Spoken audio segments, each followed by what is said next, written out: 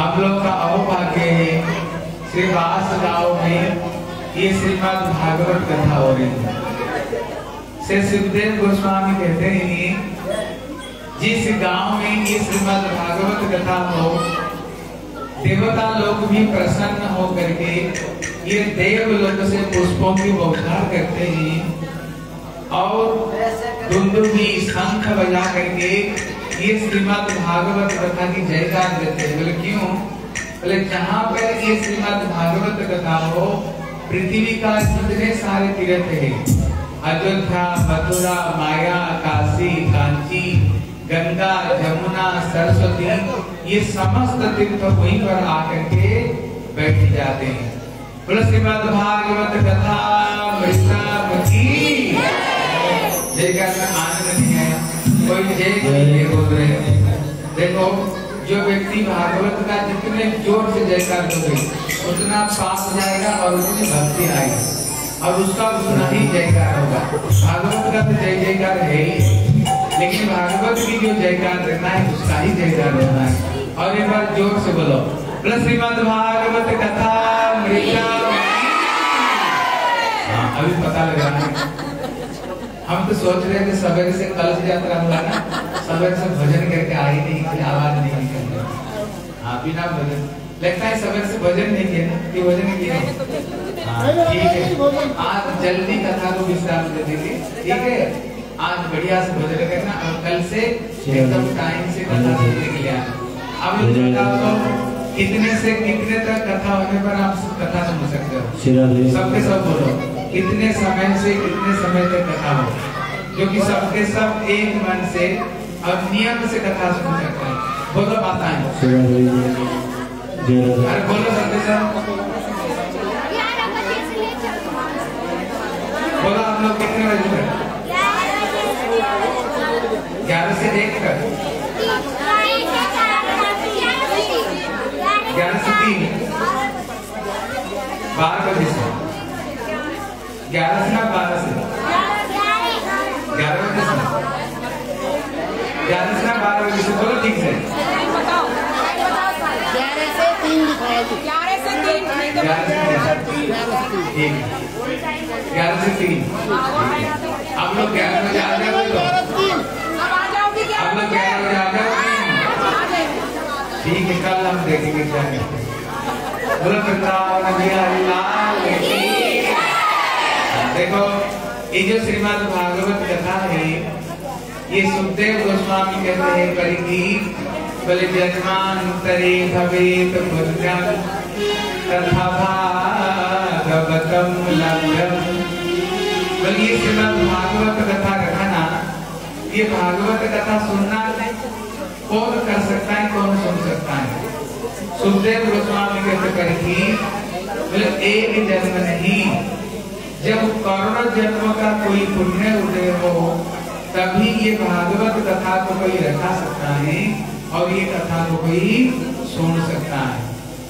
इसलिए हमारे गुरु जी कहते थे, जगत में ऐसे कुछ काम है, अगर हमारे पास में पैसा की बल हो, जिसकी बल पर ये कथा को हम करा सकते हैं। जगत में ऐसे कुछ काम है, अगर हमें कोई जन बल हो कोई लोग हमें मदद कर रहे हैं जिसकी मदद से हम ये कथा को, ये बच्चों को पीछे जो खेल रहे हैं, इनको बंद करवा सकते इसलिए अगर हमारे पास में जन बल हो, जो कथा को कर सकते और कथा को सुन सकते हैं। लेकिन सबसे जो बड़ा बल है मन बल। आप देखना, भले घर में कोई पैसा नहीं, लोग बोलते ना अरे, करो, देखा जाएगा आगे देखा जाएगा करो ना। जिस काम को हम मन की बल पर कर सकते हैं लेकिन जो सबसे बड़ा बल है आत्मबल है। ये आत्मबल से जो काम को कर सकते हैं गुरु जी कहते थे, आप लोगों ने गाँव में जो भागवत कथा रखवा है, अब जो भागवत कथा सुन रहे हो, गुरु जी कहते थे, कोई पैसा के बल पर नहीं कर सकता, कोई जन बल पर नहीं रख सकता है, कोई मन की बल पर रख सकता है, न तो कोई आत्मा की बल पर रख सकता है। जब तक श्री गुरु जी की और बांके बिहारी की कृपा बल नहीं होना, कभी कथा कोई रख नहीं सकते, कथा कोई सुन भी नहीं सकते। इतने महिमा ये श्रीमद भागवत कथा की। इसलिए श्री शंकर जी पार्वती को ये बात कहते हैं। बोले, पार्वती, जगत में सब चीज़ सुलभ है, लेकिन ये पार्वती जगत में एक चीज़ बड़ा दुर्लभ है। तब माता पार्वती कहती है, प्रभु जगत में किस चीज़ की दुर्लभता है? देखो शंकर जी क्या कहते हैं। बोले, सत संगति दुर्लभ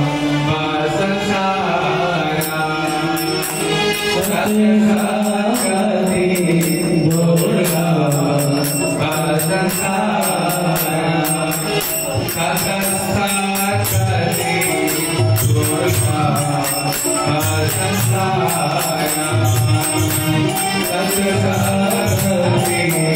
बोले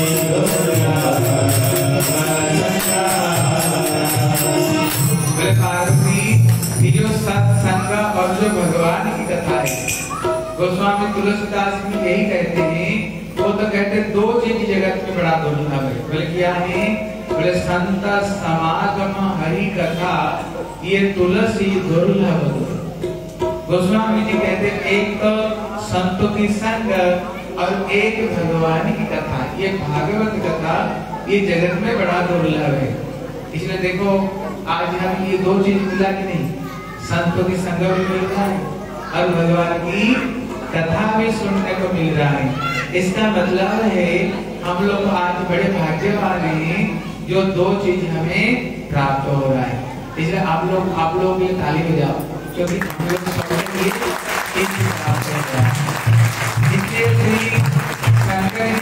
पार्वती जो सत्संग जो भगवान की कथा दुर्लभ है, इतने में श्री माता पार्वती कहती है, बोले, आप प्रभु आप कहते हो सत्य संगति दुर्लभ संसार हाँ। बोले, दुर्लभ सुलभ हो गया।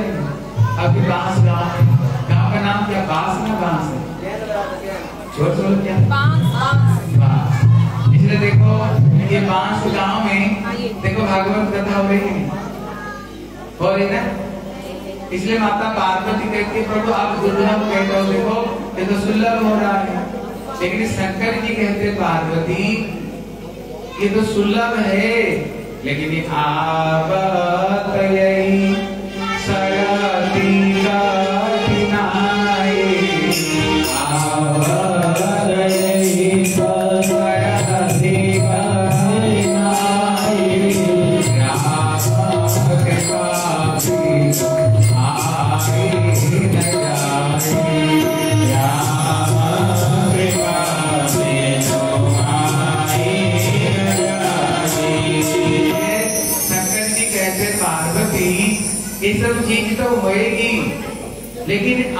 तो यही सारा अति कठिन है।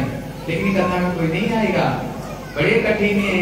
गृह कार्य अति जंजाला इसको कथा बोलने के लिए बोलो ना, इसलिए श्री सुखदेव गोस्वामी परीक्षित महाराज सुतो गोस्वामी को प्रश्न करते हैं। देखो क्या प्रश्न करते हैं। जैसे यहाँ भागवत कथा हो रही है। अगर किसी व्यक्ति को बोलो, वहीं पर आप ही कोई बताओ, वहीं पर इसलिए अगर कहीं भागवत कथा हो रही है किसी व्यक्ति की कोई छोटे मोटे कोई काम हो अगर किसको निमंत्रण दो भैया भागवत कथा हो रही है कथा सुनने के लिए लेकिन क्या बोलेंगे भैया हमारी समय नहीं हमारा अपना काम काज में हमें व्यस्त है हमारे पास में समय नहीं कथा सुनने के लिए। लेकिन इसलिए सुतो गोस्वामी प्रश्न करते हैं हैं, श्री सोनक आदि प्रश्न करते हैं लेकिन ये जो परीक्षित महाराज है जानते हो ये कौन थे? संपूर्ण ये पृथ्वी को ऊपर राजत्व कर रहे थे। हमारे तो कोई दुकान, कोई मकान, कोई खेती बाड़ी होगा लेकिन वो संपूर्ण पृथ्वी के ऊपर में ये राजत्व कर रहे थे। लेकिन उन्होंने सब कुछ छोड़ करके भागवत कथा में आए बोले, क्यों आए? कारण था। उनको पता है ये कथा में कितने महत्व है ये कथा की कितने शक्ति वो जानते थे। इसलिए पृथ्वी का राज्य तो छोड़ करके मोदी जैसे भारत का प्राइम मिनिस्टर अगर संपूर्ण पृथ्वी का कोई अगर प्राइम मिनिस्टर हो, कितने चिंता होगा बताओ। लेकिन संपूर्ण पृथ्वी का काम छोड़ करके ये कथा सुनने के लिए आए कारण क्या है उनको पता था ये कथा में जो चीज़ मिलेगी ना, दुनिया में और कहीं भी ये चीज़ हमें मिलने वाले नहीं।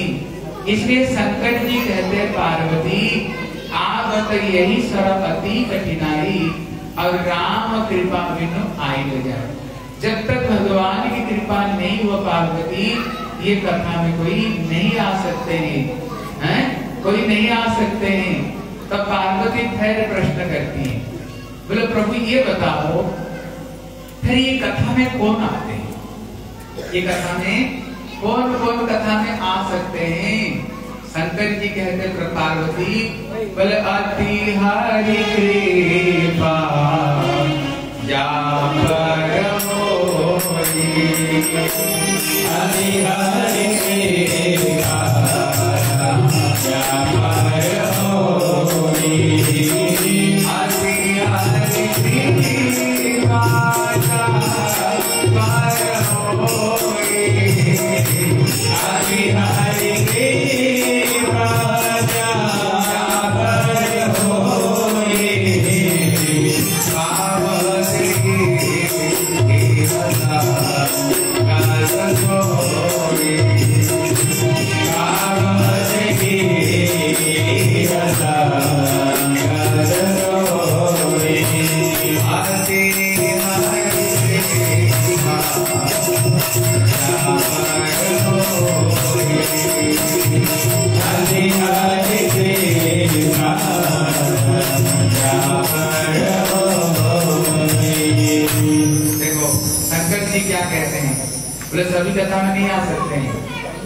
जिसको ऊपर में ठाकुर जी की विशेष कृपा हो, पार्वती, वही कथा में आ सकते हैं। एक उदाहरण देकर समझाए भैया, अभी चुप रहो सारा दिन यही करते रहो। कल करते इसलिए जैसे एक उदाहरण देते हैं, जैसे तुम्हारे घर में शादी हो रही है। आप बताओ, वो शादी में कौन कौन आएगा? आप जिसको निमंत्रण दो।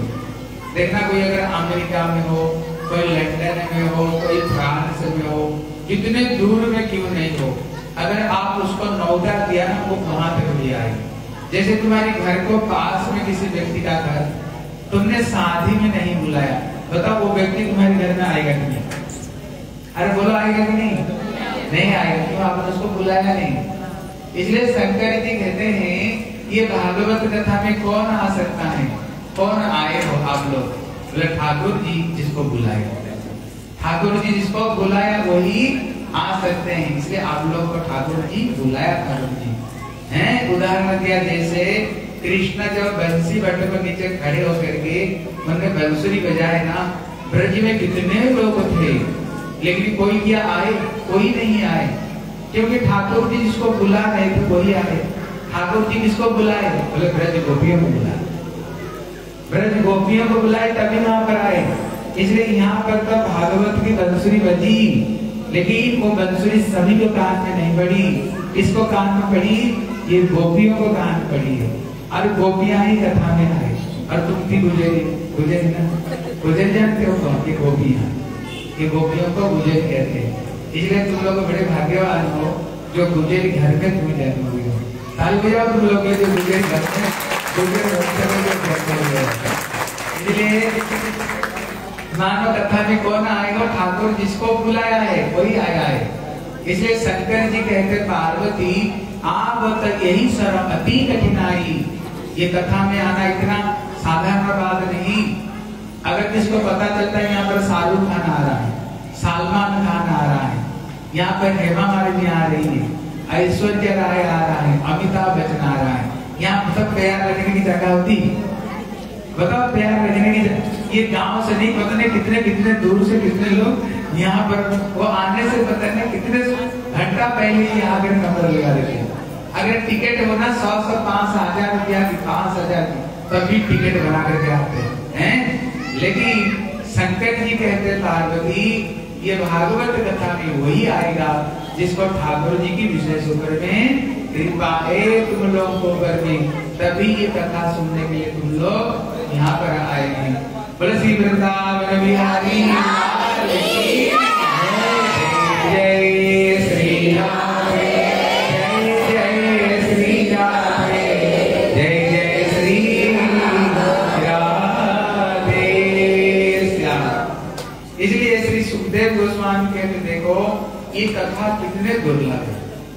और जो लोग कथा सुन रहे हो, आप लोग कितने पुण्यात्मा।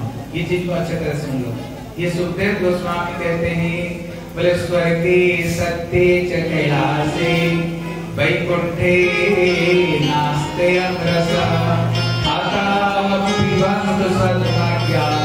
श्री सुखदेव गोस्वामी कहते हैं आज ये बाँस गाँव वालों को जो सौभाग्य प्राप्त हुआ है, कहते, स्वर्ग में देवता रूप में जन्म लेने पर भी उनकी किस्मत में भी कथा नहीं जुड़ता है इसलिए जिस समय श्री सुखदेव गोस्वामी परीक्षित महाराज को कथा सुनाने जा रहे थे, तुम्हारी बात छोड़ दो स्वर्ग से देवता लोग अकेले नहीं, अपना देवियों को लेकर कथा आए। देवता, देवी जिन जिन देवताओं को घर में पूजा करते हो, इंद्र, चंद्र, वायु, वरुण, जितने बड़े बड़े देवता, सबके सब कथा सुनने के लिए आए। कथा सुनने के ही सारे खाली हाथों में? खाली हाथों में नहीं, स्वर्ग का अमृत कलश लेकर। बोले, हे परीक्षित हे सुखदेव गोस्वामी, आप परीक्षित को क्यों कथा सुनाने जा रहे हो? क्योंकि श्रृंगी ऋषि उसको अभिशाप दिया है, वो सप्तम दिवस में उसको तक्षक दर्शन करेगा। इसीलिए ना बोले हाँ बोले, हम स्वर्ग से अमृत कलश लाए। लो, ये अमृत कलश पूरा के पूरी ले जाओ। और इसको परीक्षित महाराज को पिला दो, ये अमर बन जाएगा। लेकिन ये जो कथा अमृत जो पिलाना चाहते हो, हमें पिला दो। लेकिन सुखदेव गोस्वामी कहते हैं को काज को मणि बोले, बुद्ध देवताओं, तुम लोग बड़े मतलबी हो। केवल स्वार्थ ही हासिल करना जानते। कहा भगवान की कथा है? कि जो ठाकुर जी कथा सुन रहे हो, क्या है भागवत? ये भागवत और कोई नहीं, ये स्वयं से बांके दिया है। ये स्वयं गिरिराज बाबा मोहन बाबा ही। आपका गुर्जर बाबा मोहन है ना? मोहन बाबा कौन है। वो भगवान कृष्ण ही है। हैं? तुम लोग तो अवतार मानते हो। इसलिए कहते हैं, कृष्ण ही ये भागवत रूप धारण किए हैं। जिस समय उद्धव जी, जिस समय कृष्ण जा रहे थे कहाँ पर? अपना धाम में सिधार रहे थे। उसी समय में उद्धव भी वहीं पर था। बोले, प्रभु, आप तो ये संसार छोड़ करके जा रहे हो। जीवन भर हम एक साथ में रहे। अभी मैं किसका आश्रय लूँ? कृष्ण बोले, उद्धव, कोई चिंता मत करो। एक स्वरूप में तो जा रहा हूँ, लेकिन कली युग में दूसरे स्वरूप में रह भी रहा हूँ। बोले, प्रभु कली युग में आप किस रूप में रहोगे? कृष्ण स्वयं कहते हैं बोले तेन अयंग बाणमय मूर्ति प्रत्यक्षे वर्तते हरि भगवान ये श्रीमद् भागवत ग्रंथ रूप में ये शब्द ब्रह्म रूप में कली युग में ये भागवत ग्रंथ रूप में विद्यमान कृष्ण खुद कहते हैं बोले हे उद्धव ये कलयुग में जो व्यक्ति ये श्रीमद् भागवत कथा श्रवण करेगा ये भागवत कथा सुनना और मेरे से मिलना कोई अलग बात है। जो कथा सुन रहे हो अब क्या कर रहे हो? कथा नहीं सुन रहे हो ठाकुर जी से मिल रहे ठाकुर जी से मिल रहे हो ठाकुर जी से, हैं? अब भगवान खुद भी कहते हैं मत भक्ता जत्र गायत्री, तत्र तिष्ठा नारद हे नारद। जहाँ पर मेरी कथा हो, वहीं पर ही मैं रहता हूँ। इसलिए बोले, कहाँ ठाकुर जी बांके बिहारी और कहा तुच्छ स्वर्ग का अमृत है? वो उदाहरण देते हैं। वो काच को मणि विमान जैसे आपके पास में कोई मणि हो, कोई एक कांच की टुकड़े लेकर के आए, बोले, भैया लोग ये कांच की टुकड़े ले लो। तुम्हारे पास में जो मणि है ना, वो मणि हमें दे दो। आप दे दोगे? दे दो क्या? नहीं दोगे। इसलिए कहते जो श्रीमद् भागवत कथा है, वो मणि जैसे, और स्वर्ग का अमृत क्या है? ये कांच के टुकड़े जैसे। तब यहाँ पर प्रश्न होता है फिर ये भागवत कथा की क्या कोई कभी ये स्वर्ग का जो अमृत है, ये अमृत का क्या कोई महत्व नहीं? बोले, भैया, अमृत अभी साधारण वस्तु नहीं। ये हम आगे सुनेंगे कि अमृत को प्राप्त करने के लिए देवता दैत्यों ने बड़ी परिश्रम लगाई। समुद्र मंथन किया है। इतने बड़े काम उन्होंने की समुद्र मंथन की और समुद्र मंथन में जब ये अमृत निकला ठाकुर जी को चार चार अवतार लेना पड़ गया था कितना अवतार लेना पड़ा? था क्या क्या? हाँ, सुन लो। कथा के कितने महत्व है जब समुद्र मंथन होने जा रही थी इतने में मंदर पर्वत को बोले रही बनाओ और बासु की नाव को रज़ी बनाओ। लेकिन इतना बड़ा पर्वत लाए कैसे? देवता देते मिलकर को उठा करते लाए लेकिन नहीं ला पाए। बीच में गिरा तो कितने देवता देवता पीस गए। फिर ठाकुर जी को प्रार्थना किया। फिर ठाकुर जी हरि अवतार में गरुड़ को पीठ के ऊपर रख करके समुद्र मंथन में समुद्र को बीच में ये मंदारचल पर्वत पर रखी। ये ठाकुर का पहला अवतार हो गया। दूसरा अवतार किया। जब मंथन हुई, कहती ये मंदारचल पर्वत धीरे धीरे धीरे तो नीचे जा रहा था। फिर ठाकुर जी को प्रार्थना की। ठाकुर जी कुर्मा अवतार लेकर के पीठ को ऊपर में पर्वत को धारण किया। कितना अवतार हो गया? दो। सुन रहे कि नहीं? सुना ध्यान से। दो अवतार हो गया जिस समय फिर मंथन हुई भगवान एक धन्वंतरी अवतार लिया। वो अमृत कलश को लेकर निकला। कितना हो गया? तीन। इतने में दैत्य लोग ज़ोर ज़बरदस्ती छीन लिया। ठाकुर जी ने सोचा अगर ये दैत्य लोग अमृत पान करके अमर बन जाएँगे अगर ये लोग अमर बन जाएँगे तो क्या होगा? जगत का हानिकारक। फिर भगवान ने मोहीन अवतार लेकर के उन्होंने अमृत को देवता को दिया। कितना अवतार हो गया? चार अवतार हो गया मतलब भगवान को भी ये अमृत प्राप्त करने के लिए देवताओं को भगवान भी चार चार अवतार दिया फिर क्या हुआ? इतने में कि जो अमृत है, हैं? कभी जो अमृत है, आप लोगों को पता है ये कुंभ मेला क्यों लगता है। इलाहाबाद में नासिक में प्रयाग। बताइए कुंभ मेला क्यों होता है? कभी गए हो कुंभ मेला में? कोई भी नहीं गई गुजरी आप गई हो। आपको पता होगा जब इलाहाबाद नासिक में कुंभ मेला लगता है, जब सही स्नान होता है ना, पंद्रह बीस किलोमीटर गाड़ी में रोक देते हैं। वहाँ से चल चल करके आते हैं। पता नहीं कितनी पार्टी बनता है। कौन पहले सही स्नान, पहला स्नान करेगा? इतनी लड़ाई झगड़ा होता है कभी कभी तो डंडा लग जाती है फरसा भी टूट जाती है। कौन स्नान पहले करेगा? करोड़ों करोड़ों लोग उपस्थित होते हैं। स्नान करने के लिए जानते हो क्यों? जिस समय गरुड़ जी स्वर्ग से अमृत कलश ला रहे थे, उनको माता जी को उद्धार करने के लिए वो अमृत कलश उन्होंने चार जगह पर रखा था। इसलिए कहाँ कहाँ पर एक नासिक में एक हरिद्वार में, एक इलाहाबाद में और एक वृंदावन में, जहाँ पर कालिया धाम मंदिर है। हैं, जहाँ पर कालिया को ठाकुर जी रखा था तब जिस पेड़ ऊपर में ठाकुर जी ये कलश को रख दिए थे ना, अभी भी वो पेड़ अमर है। वो मरे नहीं। अरे बच्चों को मना करना भूल नहीं मना करने के लिए। ये बच्चों को बोलो, घर में जाओ, घर में खेले जाकर इसलिए कहते जहाँ पर चार वृक्ष को ऊपर उन्होंने रख दिया था। अभी भी ये चार वृक्ष अमर है इसलिए केवल ये अमृत कलश रख दिया था। इसलिए बारह साल के बाद में एक बार ये कुंभ मेला होता है। केवल अमृत कलश रख दिया था। लेकिन यहाँ पर श्री देवता लोग पूरा के पूरा अमृत कलश लेकर के आए। बोले, लो, ये पूरा के पूरा अमृत कलश को पूरा के पूरा ले जाओ। लेकिन इसकी विनिमय में हमें ये श्रीमद भागवत कथा में सुना दो देखो देवता लोग बड़ी मतलबी है देवता लोग को पता था ये भागवत कथा की जितने महत्व है अमृत कलश के उतना महत्व नहीं वो इतने आसानी व्यक्ति नहीं वो सारे मतलब को मतलब को हासिल करना जानते हैं वो यही से अमृत कलश को नहीं दे रहे थे उनको पता है ये भागवत को कथा के सामने ये अमृत कलश कुछ भी नहीं है लेकिन अमृत कलश का विनिमय में भी इनको कथा सुनने नहीं मिला। इसका मतलब क्या है? आप लोग जो भागवत कथा सुन रहे हैं ना, आप लोग देवता से भी ज़्यादा पुण्यात्मा। देवता से ज़्यादा? पुण्यात्मा तुम लोग ये चीज़ मानते हैं कि नहीं? ज़्यादा पुण्यात्मा देवताओं से। कह रही है, अमृत पीने से क्या होता है बोलो? बोले ताबत समोदित स्वर्ग जागत पुण्यम नव समापति अमृत पीने से धीरे धीरे तक उसका पुण्य खत्म होता है। फिर वहाँ से गिरे गिरेगी लेकिन कथा अमृत पीने से पुण्य है नहीं, पुण्य बढ़ती है। पुण्य ने भगवान की भक्ति और प्रेम कथा से बढ़ती है। लेकिन अमृत पीने से क्या होता है? पुण्य घटती है। इसलिए भागवत कथा बड़ी महत्व है। इसलिए श्री सुखदेव गोस्वामी कहते पर कि, कहते ये भागवत कथा स्वर्ग में तो नहीं है। लेकिन इस स्वर्ग की बात छोड़ दो ये जो कथा है ना कभी ये सत्य लोक में भी नहीं।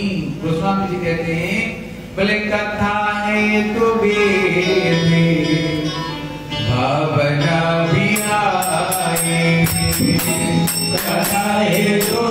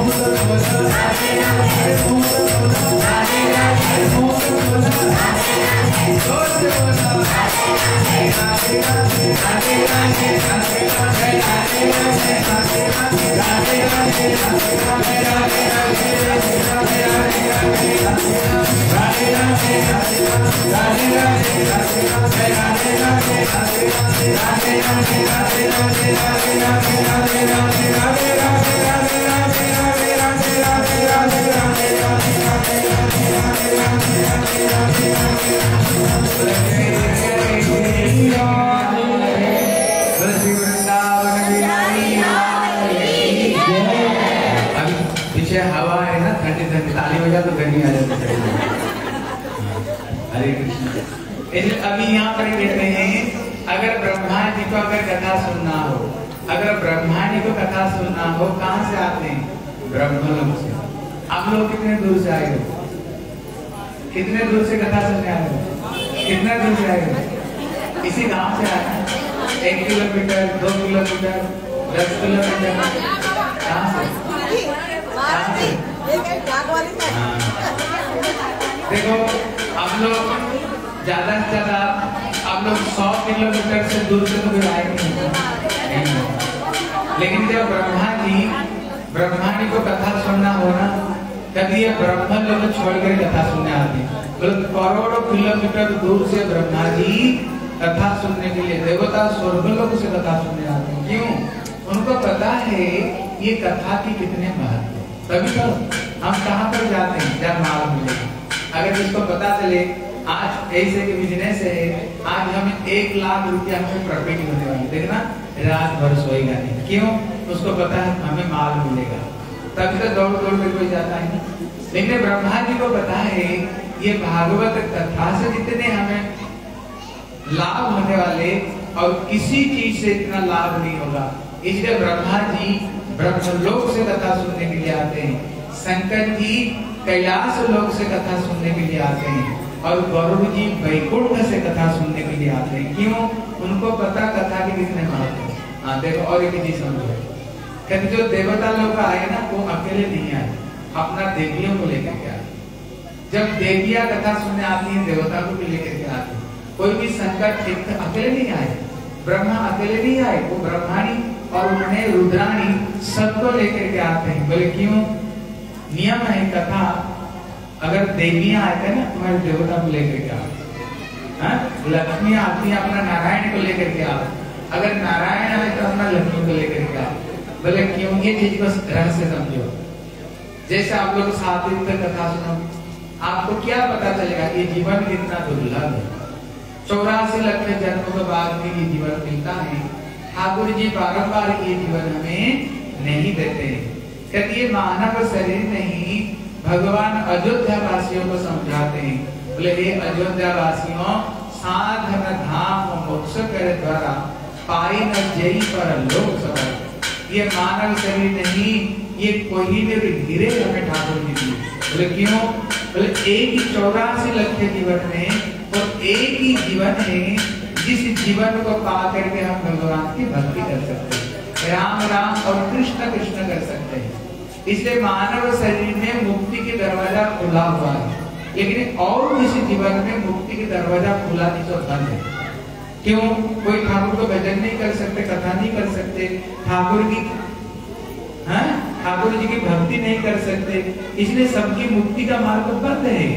केवल मानव शरीर में मुक्ति के मार्ग खुला हुआ है ये पता कब चलता है? सत्संग इसलिए गोस्वामी जी कहते हैं बिनु सतसंग विवेक ना हुई राम कृपा बिनु सुलभ ना सो ये सत्संग से मिलती है।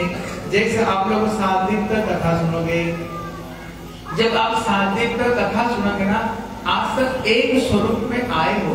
लेकिन सात दिन जब कथा विश्राम होगी देखना आपका दूसरा स्वरूप हो जाएगा क्या हो जाओगे?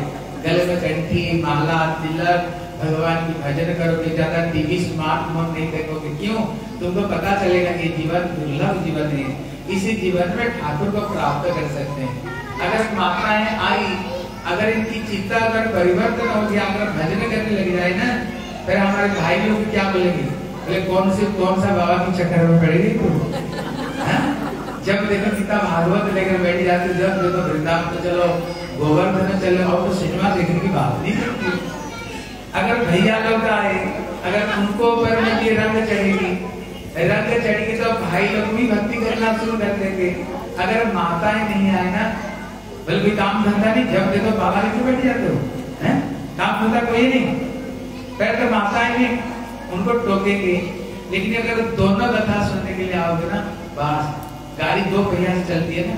एक पहिया से बड़ी गाड़ी चलती है, दो पहिया से चलती है। अगर दोनों अगर भक्ति करोगे फिर दोनों का भी भक्ति का जीवन बढ़िया बीतेगा। चलो दोनों वृंदावन चलते हैं, सत्संग में चलते हैं, भगवान की कथा सुनने चलते बड़ी बढ़िया चलेगा संसार देखो आपको सही घटना कहता हूँ बोले, एक समय को एक राजा था, बड़े सत्संग। रोज कथा सुनने आते थे। एक संत से रोज कथा सुनते थे। लेकिन जो कथा सुनेगा ना, उसको स्वाभाविक रूप में संसार से भेजा के आएगा। वो प्रभु का भजन करेगा। अभी रानी तो दी जाती पैसा नहीं वो सत्संग में जाती नहीं। इसलिए सत्संग की महिमा नहीं, जानती है। समय होते ही राजा गीता भागवत पढ़ता, प्रभु का भजन करता। ए रानी, दिन भर परेशानी परेशानी परेशानी। ये मेरे से मीठी मीठी बात नहीं करता। देखो तो कभी सिनेमा नहीं ले जाता, कभी घुमा नहीं ले जाता। कहीं जाओ तो बोलते, वही वृंदावन चलो, वही गोवर्धन चलो, वही बरसानाथ चलो।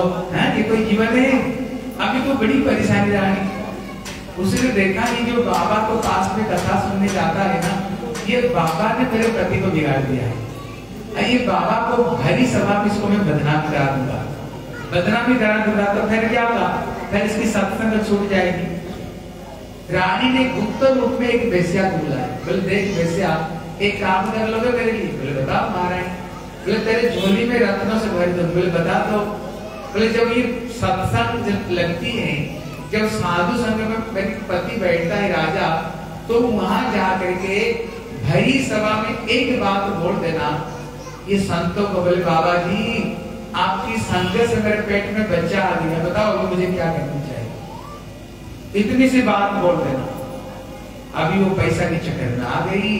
जब सत्संग भरी सभा बैठा हुआ था, वो पैसे आ गई। जा करके तो बाबा को ये बात बोल दिया। लेकिन बाबा बड़े पहुँचे हुए बाबा थे वो साधारण थे ही नहीं। लेकिन ये सब कुछ सहज सुन करके भी पी लिए, कुछ बोले ही नहीं। अभी जितने लोग बैठे हुए थे, बोले, क्या सचमुच से भी बाबा कैसे बदमाशी है? और यहाँ तो आगे सत्संग करता है कैसे गलत काम करता है? इतने में, लेकिन राजा को ये बात पता था, बाबा अच्छे संत भजन करने वाले। राजा को थोड़ा आश्चर्य में बढ़ गए।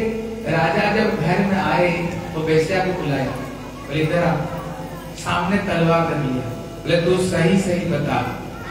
तू ये भरी सभा में ये संतों को क्यों बदना? देखो, ये तलवार सामने गला काट दूँगा। सही सही बता दो तो कहाँ बोले बोले, महाराज, मेरे माफ़ करना। इसमें मेरी कोई गलती नहीं, आपकी रानी की गलती है। आपकी रानी की गलती है, वो रानी ने मेरे को धन की लोभ दिखा करके ऐसे की है। इतने में फिर राजा संतों के पास में गए बोले बाबा ये रानी ने पैसा दे के उसको भरी सभा में ऐसे बदनाम करवाया। इसलिए अपराध को माफ़ कर देना। देखो संत क्या कहते हैं? बोले रानी की दोष नहीं दोष तुम्हारी है। किसका दोष है? राजा का। राजा का। बोले क्यों? बोले सत्संग में तू अकेला आते हो रानी को लाती नहीं अगर रानी को सत्संग में लाता तो दोनों को ऊपर रंग चढ़ता। दोनों को ऊपर रंग चढ़ता तो दोनों ही भजन करते तो गाड़ी बढ़िया चलती। तू अकेले कथा में आते हो, अकेले तेरे को ज्ञान हुआ, ये जीवन किया, ठाकुर जी क्यों दिए है? अकेला तू भजन करते हो, इसलिए रानी परेशानी इसलिए कल से इसलिए तुम कल से रानी को लेकर जाओ बस दोनों सत्संग, सुनो और संसार तुम्हारी बढ़िया चलेगी। इसलिए देखो, जो ब्रह्मा आए ना, वो ब्रह्माणी को साथ में। जब शंकर जी आए, वो रुद्राणी को लेकर के। जब देवता लोग आए ना देवी उनको लेकर के आते हैं, अकेले कोई नहीं जाते कथा सुनने के लिए। इसलिए कल से तुम्हारी देवताओं को नारायण को लेकर जाना आपको लक्ष्मियाँ आती है। बोले, श्री वृंदावन बिहारी लाल जय जय श्री राम। इसलिए श्री सुखदेव गोस्वामी कहते हैं परीक्षित ये जो श्रीमद् भागवत कथा है कहते ये वैकुंठ नाश रसा इसलिए गोस्वामी जी कहते हैं, क्या कहते हैं? बल गाया वो गरुड़ा जहाँ बसा हे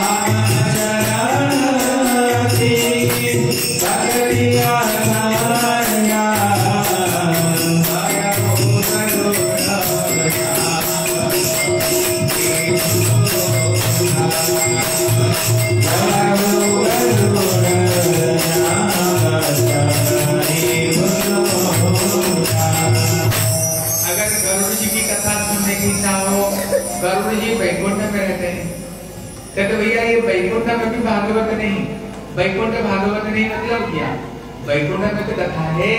लेकिन लक्ष्मी नारायण की कथा है। लेकिन राधा कृष्ण की कथा नहीं ये राधा कृष्ण की जो रासलीला सुनेंगे, कृष्ण गिरिराज उठाएँगे, कृष्ण मधुर मधुर बंसुरी बजाएँगे, कृष्ण मर्दन चोरी करेंगे। ये सब कथा वैकुंठ में नहीं, वैकुंठ में नारायण की कथा है। इसलिए गोस्वामी जी कहते हैं, अगर कभी गरुड़ जी की कथा सुनने की इच्छा हो गरुड़ जी, वैकुंठ छोड़ करके इस बढ़ते जगत में कथा सुनने के लिए आते हैं। लेकिन आप लोग समझो ये बाँस गाँव के भक्त लोग कितने पुण्यात्मा चीज़ को समझो इतने तुम लोग भक्तिमान ये चीज़ को समझो। देवता को कथा सुनने के लिए देवलोक को छोड़ना पड़ा। ब्रह्मा जी को कथा सुनने के लिए ब्रह्मलोक को छोड़ना पड़ा। कहते हैं, शंकर पार्वती की कथा सुनने के लिए कैलाश छोड़ना पड़ा। गौरव जी की कथा सुनने के लिए वैकुंठ छोड़ना पड़ा। लेकिन बाँस गाँव के भक्त लोगों को कथा सुनने के लिए घर छोड़ना पड़ा। घर छोड़े भाई नहीं, कथा स्वयं वृंदावन से कथा भी मंदाकिनी की धारा बहते बहते तुम्हारे घर को सामने आ गई। और तुम लोग यहीं बैठी बैठ कर कथा वृंदा में स्नान कर लिया। ताली बजाओ तुम लोग, ताली बजाओ। इसलिए समझो हम लोग बड़े सौभाग्यवान हैं, जो इस गाँव में जो श्रीमद भागवत कथा हो रही पर यहाँ प्रश्न होता है, देखो आज कल हम महिमा महिमा सुन रहे हैं। क्यों? महिमा सुन तब से कथा में आओ नहीं तो कल से कथा में नहीं आओगे इसलिए क्यों कथा सुनने से क्या लाभ है? बोले कथा सुनने से तुम्हें सात फ़ायदा मिलेगा। सात लाभ होगी कितना लाभ होगी हाँ, क्या क्या है? आज मैं बोलूँगा कल आपसे सुनूँगा। जो बोल देगा ना उसको मैं इनाम दूँगा। ठीक है? अच्छे तरह से सुनना। देखो कभी कभी दुनिया की हम बहुत बात याद रखते हैं।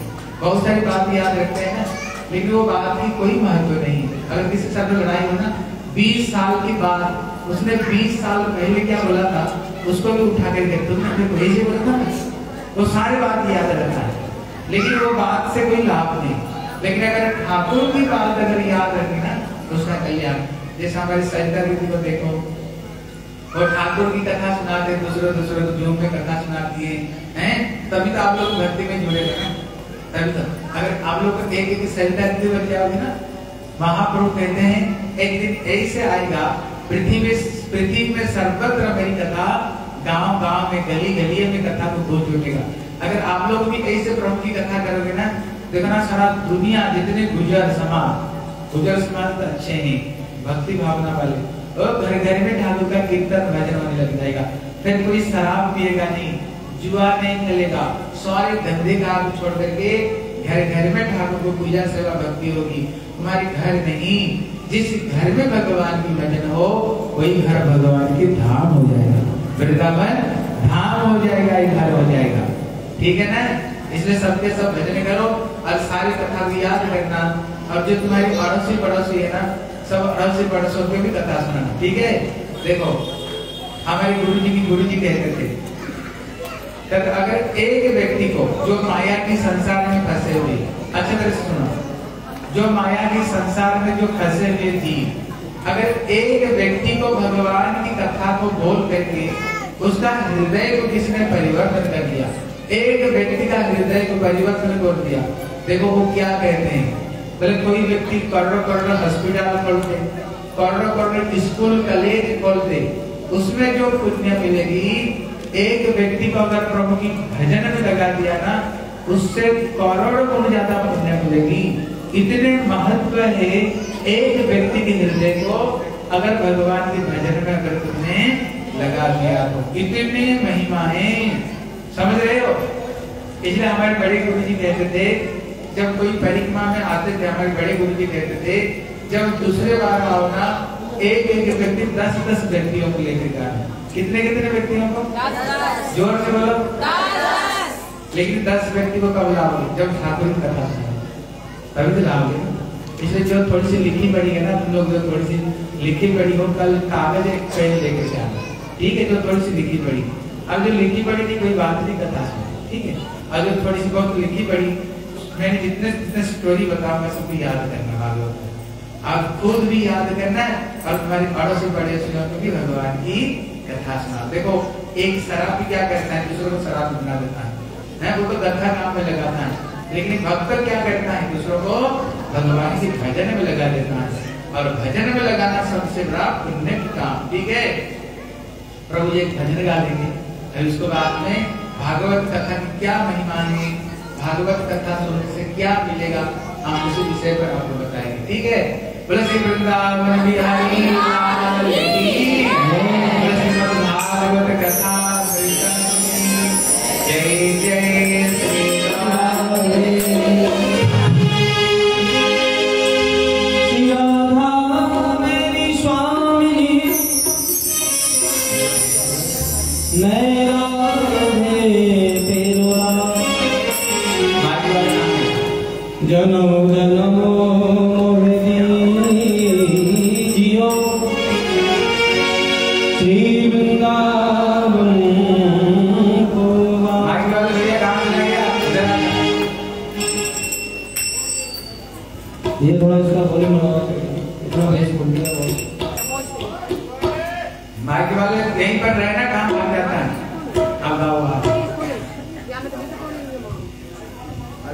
श्री हे राधा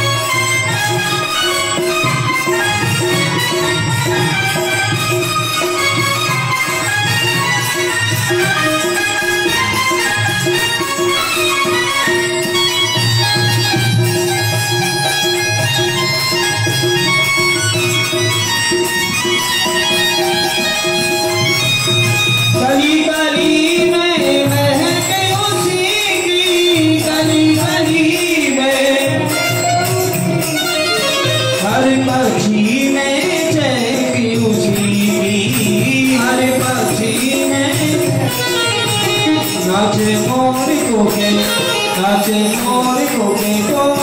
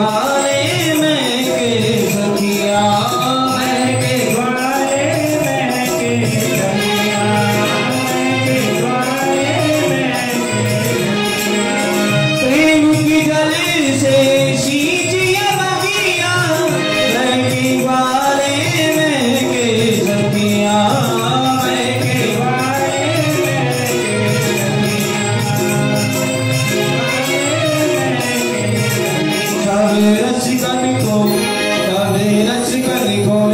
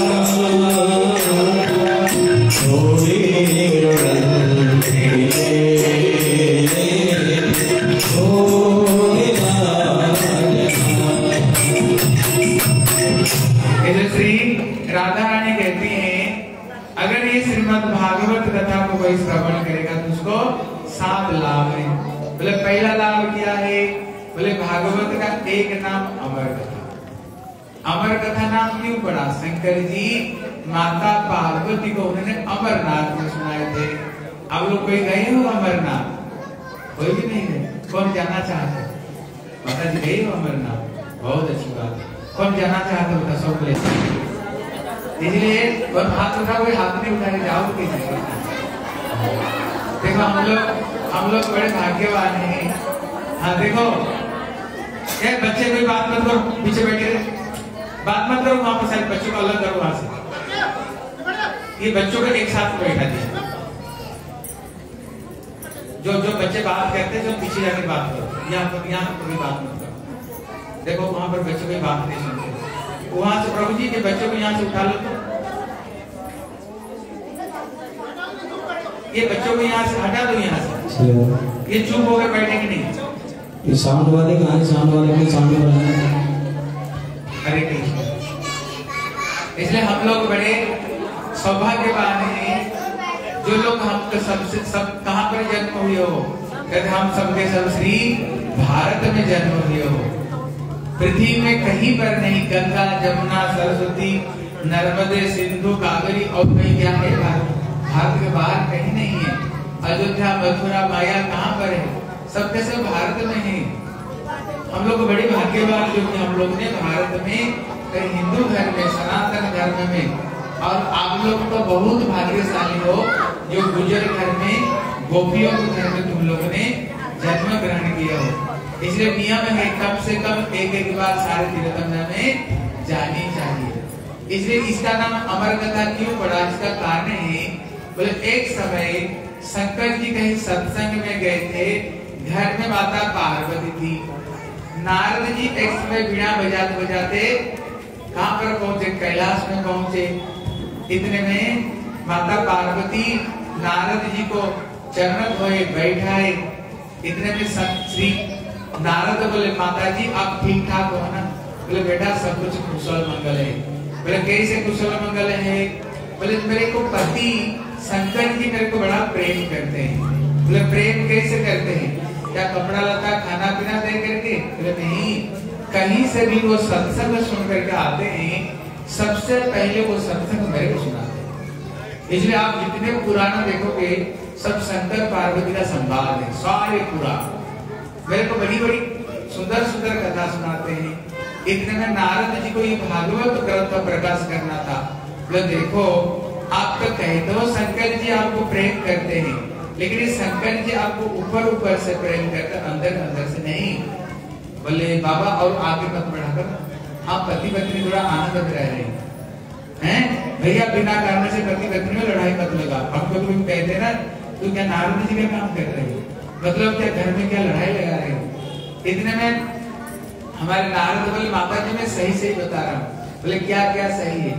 बोले, देखो, शंकर जी है ना, उनको पता है शंकर जी की और भी कहीं एक प्रेमिका है, और भी किसको प्रेम करते हैं? देखो, स्त्रियाँ सब कुछ सहन कर लेंगी। अगर उनको पता चले उसको पति और किसको अंदर अंदर से प्रेम करता है ये स्त्रियाँ कभी ये चीज़ को सहन नहीं कर सकती है। बोले, आप क्या बोल रहे हो? बोले, सही बोल रहा बोले, कैसे? बोले, जब आज शंकर जी आए ना, एक काम करो, मान भवन में लेट जाओ। शंकर को एक प्रश्न करना पूछना उनकी गले में जो मुंडक की माला किसकी है, ऐसे नहीं बोलेंगे। जब उनको तीन बार कसम खिला करके पूछोगे ना, तभी ये ये बात को तभी बोलेंगे, नहीं तो ये बात को ये नहीं बोलेंगे। इतना बोल कर तो वहाँ से नारद जी चले गए। शंकर जब घर में आए, देखा माता पार्वती मान कर घर में लेटी हुई। शंकर जब हाथ रखे ना, हाथ को फेंक बोले, क्या बात क्या बताओ?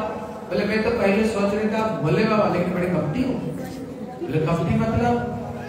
बोले, कपटी मतलब किस चीज़ की? बोले, आप बताओ, आप गले में की मुंडे की माला किसकी है? क्यों धारण करके रखा? बोले की बात किसने? बोले, नारद जी मेरे को सारी बात बताए। हैं? ऐसे बोलने वाले थोड़ी थे। बताओ गले की मुंडे की माला किसकी? बोले, देखो, पार्वती ये तेरी। बोले, मेरी? मेरे तो मुंडा शरीर, मेरे शरीर में सर, शरीर में मेरे मुंडा अब गले में कैसे आए? बोले, देखो, पार्वती, पहले जन्म में तू सती थी। तेरे पिताजी मेरे को अपमान किया प्रयाग में। इसलिए कंठल में तुमने जाकर के मेरे को भाग नहीं दिया। तुमने शरीर ही छोड़ा था। तू मेरी बड़ी प्यारी हो। जब मैं कथा सुनाता हूँ, बड़े ध्यान से तुम कथा सुनती हो। इसलिए जब जब तुम ये शरीर त्याग करती हो, तेरे मुंडों को मैंने गले में माला रूप में धारण कर लेती हूँ। पार्वती बोली, प्रभु, मैं तो सोच रहे थे, पहले आप छोटी मोटी कोई कपटी अभी देखा सबसे बड़ी आप। बोले, कैसे? बोले, ये बताओ, आप ऐसे कौन सा अमर औषधि को पान किए हो जो आप अमर बन गए और मैं मरते जा रही हूँ। बोले, देखो पार्वती, जब से मैंने ये श्रीमद भागवत कथा की अमर कोटि को मैंने पान की तब से मैंने अमरत्व की प्राप्ति की। बोले, प्रभु, मेरे को भी कथा सुना दो। फिर तो हम दोनों अमर बन जाएँगे तो आनंद में रहेंगे। मैं मरती जा रही हूँ, आप मर भी रहे बोले, देखो, ये कथा तो सभी नहीं सुन सकते हैं। बोले, मैं तो सुन सकती हूँ, बोले हाँ तेरी अगर में भक्ति, श्रद्धा तुम सुन सकती। बोले, सुनाओ। बोले जहाँ तक नहीं सुनाते। चलो तेरे को अमरनाथ ले चलता हूँ। वहीं पर बटन लिख को नीचे बैठा करके वहीं पर कथा सुनाऊँगा। बोले देखो पार्वती हुंकार करते रहना। मैं आँख बंद करके सुनाऊँगा। तो उन्होंने भागवत की जयकार दे करके बोले श्रीमद भागवत कथा जयकार देते हुए भागवत कथा उन्हें सुनाना प्रारंभ किया। कथा सुनाते जा रहे सुनाते जा रहे लेकिन भगवत इच्छा से उसी वृक्ष के ऊपर में एक तोता भी बैठ करके सुन रहा था। बीच में माता पार्वती सो गई। अभी हुंकार करना व्यर्थ हो गया। तोता ने देखा, माता जी तो सो गई कथा मेरी भी अधूरी रह जाएगी। और वो तोता भी हुंकार भरते रहा। बोले, बड़ी प्यारी कथा, उसको आगे किया हुआ। आप उसको आगे बताओ। शंकर तो बोले, बाबा सुनाते सुनाते जा रहे फिर जब कथा विश्राम हुई ना फिर उन्होंने श्री मद भागवत कथा वृता की जयकार दी तो माता जी नींद खुल गई। बोले उसको बाद में क्या हुआ? बोले किसको बाद में? बोले उसको बाद में। बोले उसको बाद में? मतलब कथा तो विश्राम हो गया। बोले नहीं बीच में सो गई थी। बोले तू हुंकार भर रही थी? बोले मैंने हुंकार नहीं भरी। शंकर जी ने देखा ये तो अमर कथा। जो सुनेगा वो अमर बन जाएगा। अगर कोई दुष्ट व्यक्ति अगर कथा सुन लिया ना अगर वो अमर बन गया तो दुनिया के लिए हानिकारक है। शंकर जी ने देखा है कि तोता बैठ करके सुन रहा था, त्रिशूल उठाए और उसको मारने के लिए पीछा की। अब तोता जहाँ जाए, शंकर जी पीछा नहीं छोड़ रहे।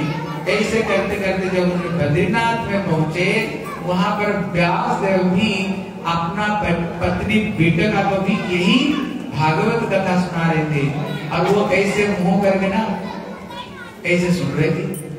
अब तोता वहीं पर गया और सूक्ष्म रूप धारण करते हुए अंदर में प्रवेश कर गया। शंकर हाफते हाफते वहाँ पर पहुँचे। श्री व्यास देव पूछे भोले बाबा कहाँ से हाफते हाफते आ रहे हो? बोले, बड़ा अनर्थ हो गया। बोले, क्या हो गया? बोले, एक तोता ने अमर कथा सुन लिया।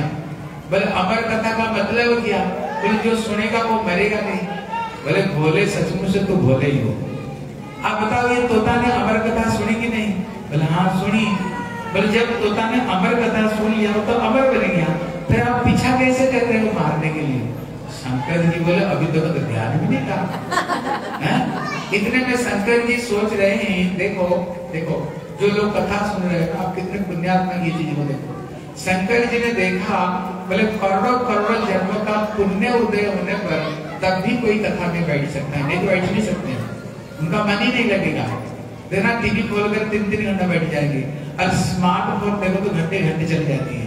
लेकिन ये भगवान की कथा में जो सुनने वाले, बैठने वाले बड़े पुण्यात्मा हैं नहीं तो कथा में बैठ नहीं सकते हैं।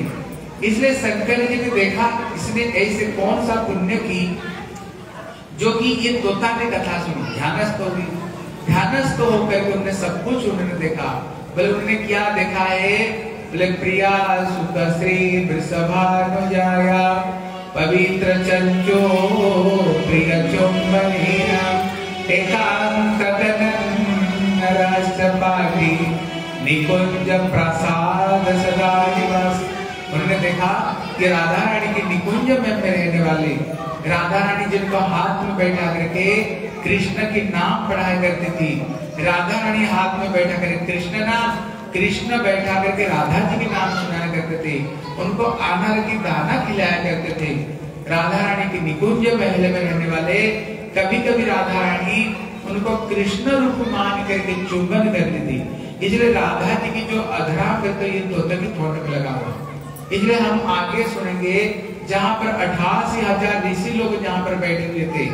एक सौ साल, दो सौ साल, पाँच साल के जगड़ा जुटधारी लेकिन ये कथा सुने तो किसकी मुँह से कथा सुने? ये सुखदेव से। सबसे छोटे बालक है बारह कहीं सोलह साल के आता है बोले, क्यों? इतने छोटे बालक से क्यों कथा सुने? बोले, ये तोता कोई साधारण तोता नहीं, ये राधा रानी की प्रिय सुख श्री ये सुखदेव गोस्वामी। इसलिए श्री शंकर जी ने देखा, यही तोता ही श्री सुखदेव गोस्वामी रूप में जन्म लेकर के सर्वत्र ये भागवत धर्म को प्रचार करेंगे। उन्होंने सब कुछ देख लिया। बोले, कथा सुनाना सार्थक हो गया। शंकर जी परिक्रमा करते हुए चले गए। देखो, शंकर जी स्वयं कहते हैं, शंकर जी कौन है? सत्यम शिवम सुंदर देव देव महादेव। जोगी जोगी महाजोगी। लेकिन शंकर जी खुद कहते हैं ये भागवत कथा सुन करके ही मैंने अमृत की प्राप्ति की। इसलिए माता उसको पहले भी शरीर छोड़ी, कब तक? जब तक उसने कथा नहीं सुनी। जब माता पार्वती स्वयं शंकर जी कथा सुन करके अमरत्व को प्राप्त की, फिर अगर हम भी कथा सुनेंगे अमर नहीं बनेंगे, ज़रूर हम भी अमर बनेंगे। इसलिए जिन जिनियों ने ये कथा सुने सब के सब अमर बन गए। देखो ध्रुव प्रहलाद श्री परीक्षित महाराज, सुखदेव गोस्वामी अमर थे ना? तुलसीदास जी, हनुमान जी अमर है कि नहीं, एक कथा कभी संसार से कभी खत्म होगा? इसलिए भैया, जो कथा सुनेगा वो अमरत्व की प्राप्ति होगी। ये पहला लाभ है। बोले, दूसरा लाभ क्या है? तप्त जीवन। संसार में हम सब दुखी है। कोई तन से, कोई मन से दुखी, परिवार से दुखी, पड़ोस से दुखी, कोई पैसा से दुखी, कोई तन दुखी, कोई मन दुखी, कोई धन बिना रहत उदास। थोड़े से थोड़े सब दुखी सुखी राम का दास कल जो कथा सुनेगा जगत में, उसको समस्त दुख कष्ट उसकी दूर हो जाएगी। देखो, इसका प्रमाण देखो। जैसे कथा में बैठे हो। कथा में बैठे हो। लेकिन संसार में हम सबके सब दुखी, किसी ना किसी तरह से। आप बताओ, संसार का कोई दुख कष्ट तुम्हें याद अभी है? कोई दुख कष्ट याद है? कोई दुख कष्ट याद नहीं। लेकिन ये गेट से बाहर निकला। केवल गेट को पार करते ही घर में जाने पर ये दिक्कत घर में ये झगड़ा, घर में ये अशांति, घर में ये लड़ाई, केवल गेट को बाहर निकलते ही शायद पहाड़ रूप में बोझ रूप में बैठ जाएगा। लेकिन जब तक ये कथा में बैठोगे ना, कोई दुख कष्ट याद है क्या? कोई दुख कष्ट याद नहीं। इसलिए कहते भगवान की कथा सुनने से सब दुख दूर हो जाएगा। बोले, श्रवण मंगल। जो ये श्रीमद भागवत कथा सुनेगा, उसको जीवन में मंगल, मंगलमय होगा और श्री श्री मतलब होता है लक्ष्मी श्री मतलब जस श्री मतलब शोभा। जो ये श्रीमद भागवत कथा सुनेगा, उसको सब सब चीज़ की प्राप्ति होगा। बोले, दा दा मतलब होता है संसार का जो बंधन है।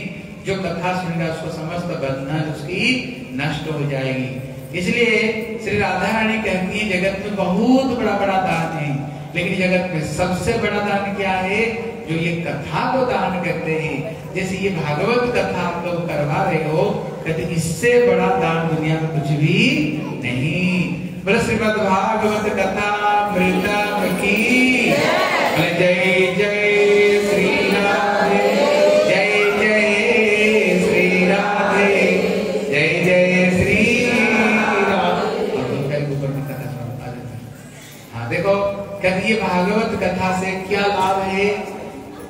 लोग सुन लिया सात लाभ कहते, भागवत कथा की इतने महिमा है, इतने महिमा भागवत कथा की, कहते, आप कथा भी सुनाएँगे, हमारे प्रभु जी सुनाएँगे। जब श्री धुंधुकारी ने वैश्या ने मार करके घर में गाड़ दिए प्रेतात्मा बन गया, जब उसको नाम पर गया में भी पिंड दिया ना, उसको मुक्ति नहीं मिली। जब गोकर ने घर में आकर के देखा, फिर भूत बन कर बैठा हुआ। बोले, तेरे नाम पर मैंने गया में पिंड दिया, तेरे को मुक्ति नहीं मिली। बोले, भैया, मैंने इतने पाप, इतने मैंने पाप की मेरे नाम पर सौ बार भी पिंड दो तो मेरी मुक्ति नहीं होगी लेकिन मुक्ति मिली कैसे? ये भागवत कथा से मुक्ति मिली। मतलब है, हम जितने बड़े पापी क्यों नहीं हो, एक बार आओ और भागवत कथा में बैठ जाओ। अगर प्रेत को अगर ये मुक्ति हो सकती है, अगर हम तो साक्षात रूप में इंसान है, क्या हमें भी मुक्ति नहीं मिलेगी? ज़रूर कथा में हमें मुक्ति हमें ज़रूर मिलेगी। इसलिए ये पद्म पुराण में ये धुंधुकारी गोवर्धन की कथा है। हमारे प्रभु जी आपको ये गोकर्ण धुंधुकारी की कथा सुनाएँगे। कैसे उनको ये भागवत कथा उनको प्रेत जन्म से कैसे उनकी मुक्ति हुई। बोलो श्रीमद भागवत कथा की जय जय जय।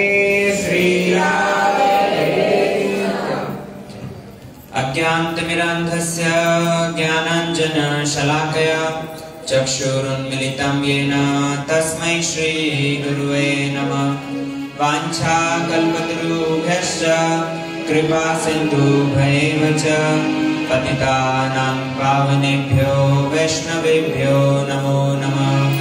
श्रीकृष्णचैतन्य प्रभुनित्यानन्द श्री अद्वैत गदाधर शिवसदि गौरभक्तवृन्द हरे कृष्णा हरे कृष्णा कृष्णा कृष्णा, हरे हरे। हरे राम हरे राम राम राम, हरे हरे। एक बार सभी बोलिए।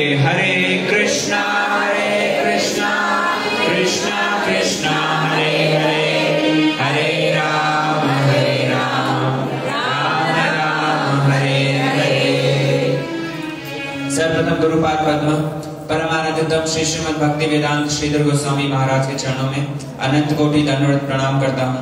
तदुपरांत समस्त गुरु परंपरा के चरणों का आश्रय लेते हुए उपस्थित समस्त भक्तिमती माताएँ, समस्त वैष्णव, वैष्णवी, सभी प्रभुवर के चरणों में मेरे यथायोग्य दंडवत प्रणाम। श्रीमद् भागवत महापुराण की महिमा हम गुरुदेव के मुखारबिंद से श्रवण कर रहे हैं और विशेष करके भागवत का महात्म्य दो पुराण में वर्णन आया। एक पद्म पुराण और एक स्कंद पुराण। हम आगे जाके श्रवण करेंगे, जब व्यासदेव जी ने सभी शास्त्रों की रचना कर दी, तब पर भी उनको शांति नहीं मिली।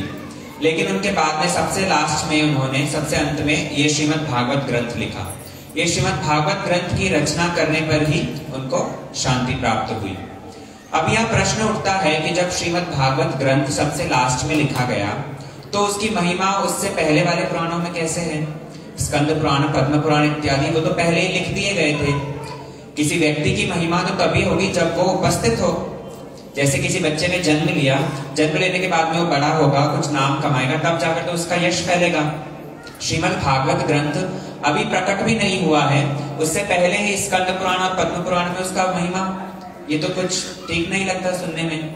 तब इसका उत्तर देते हुए कहते हैं कि यह ग्रंथ नित्य है। श्रीमद् भागवत ग्रंथ नित्य है। ऐसा नहीं कि वे व्यासदेव जी ने इसको तभी प्रकट किया।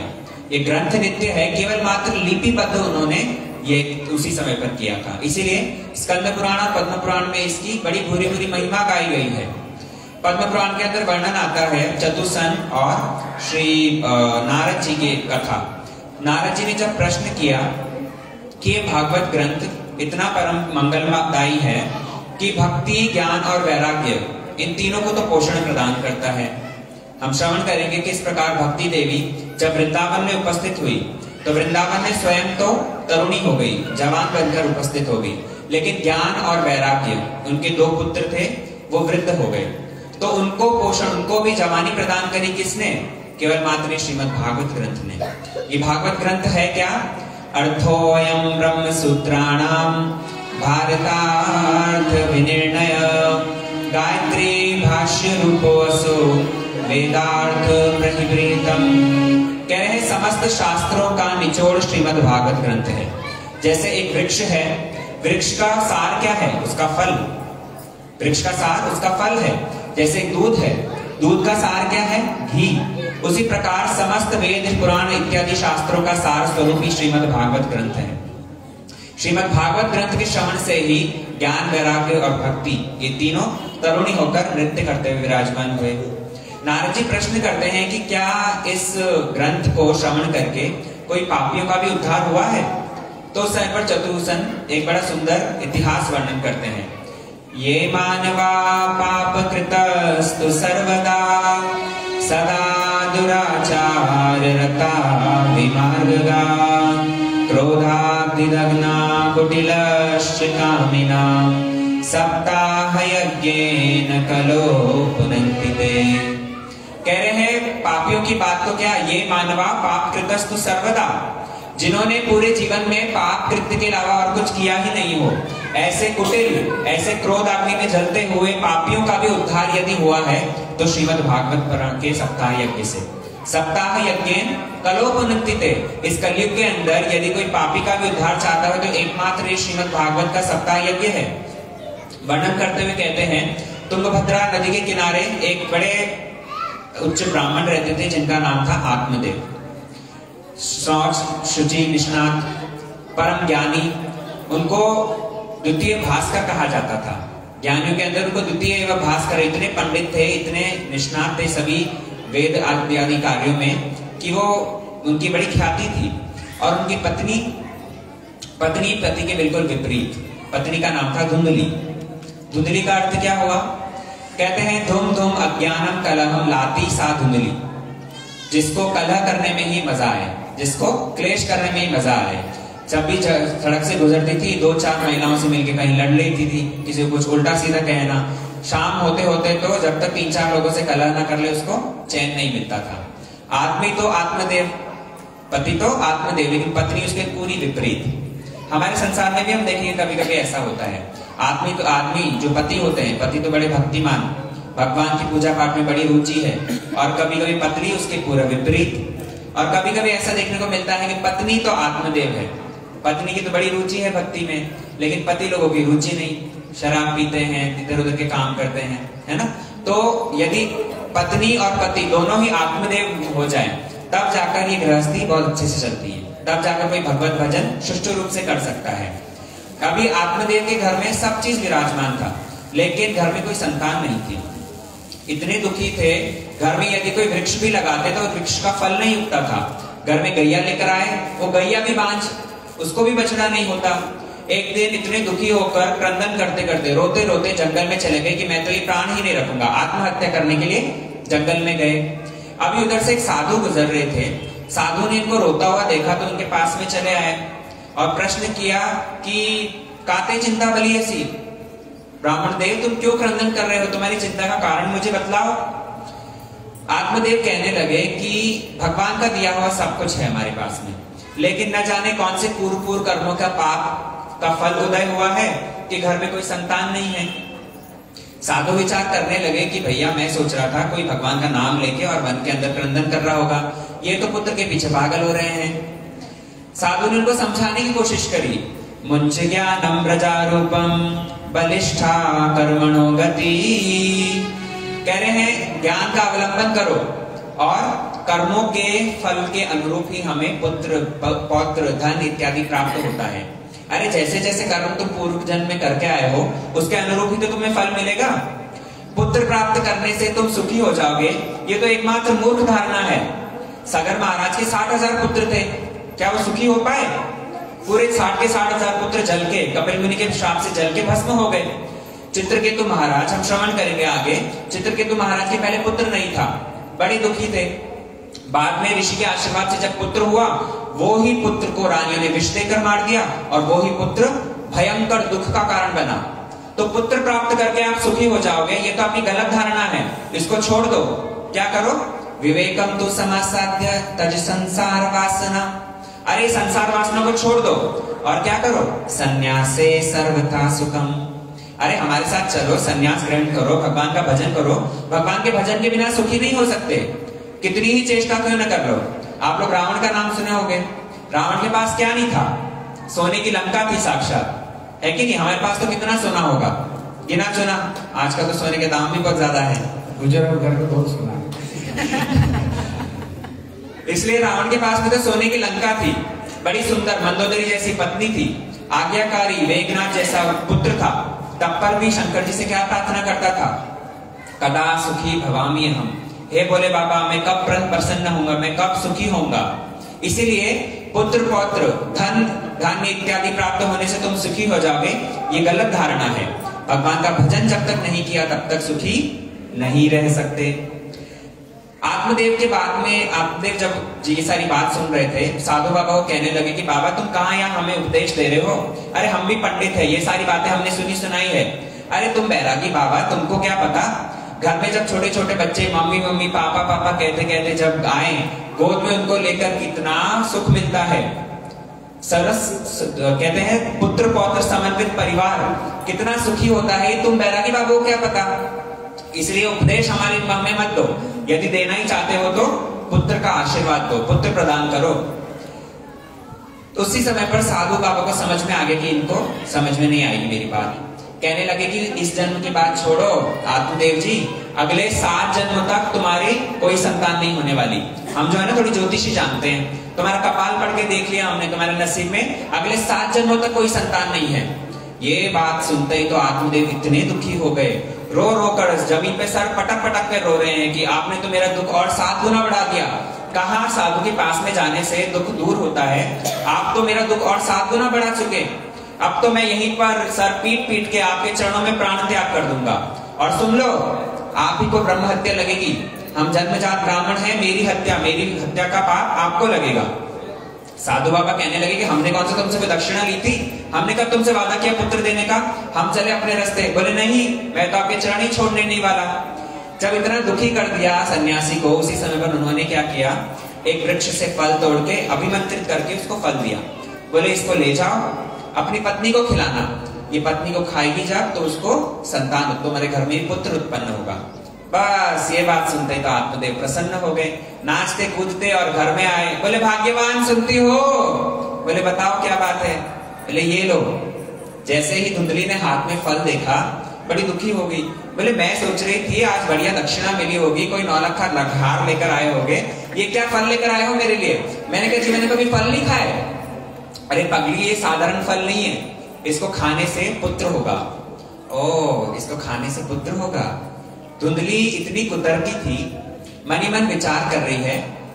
शाम को जब उसकी दोस्त, उसके मित्र घर में आई तो उससे मंत्रणा करने लगी कि, बहन, मैंने सुना है, गर्भवती स्त्रियों का पेट बाहर निकल आता है। ठीक से भोजन भी नहीं कहीं कर सकती। अरे, गाँव में कभी आग लग गई तो भागूँगी कैसे मैं? कभी चोरों का डाका पड़ गया तो मेरे को तो लूट के खा जाएँगे वो। और मेरी ननद जो घर में आकर बैठ जाएगी छह महीने पहले, वो तो सारा माल साफ़ करके ले जाएगी।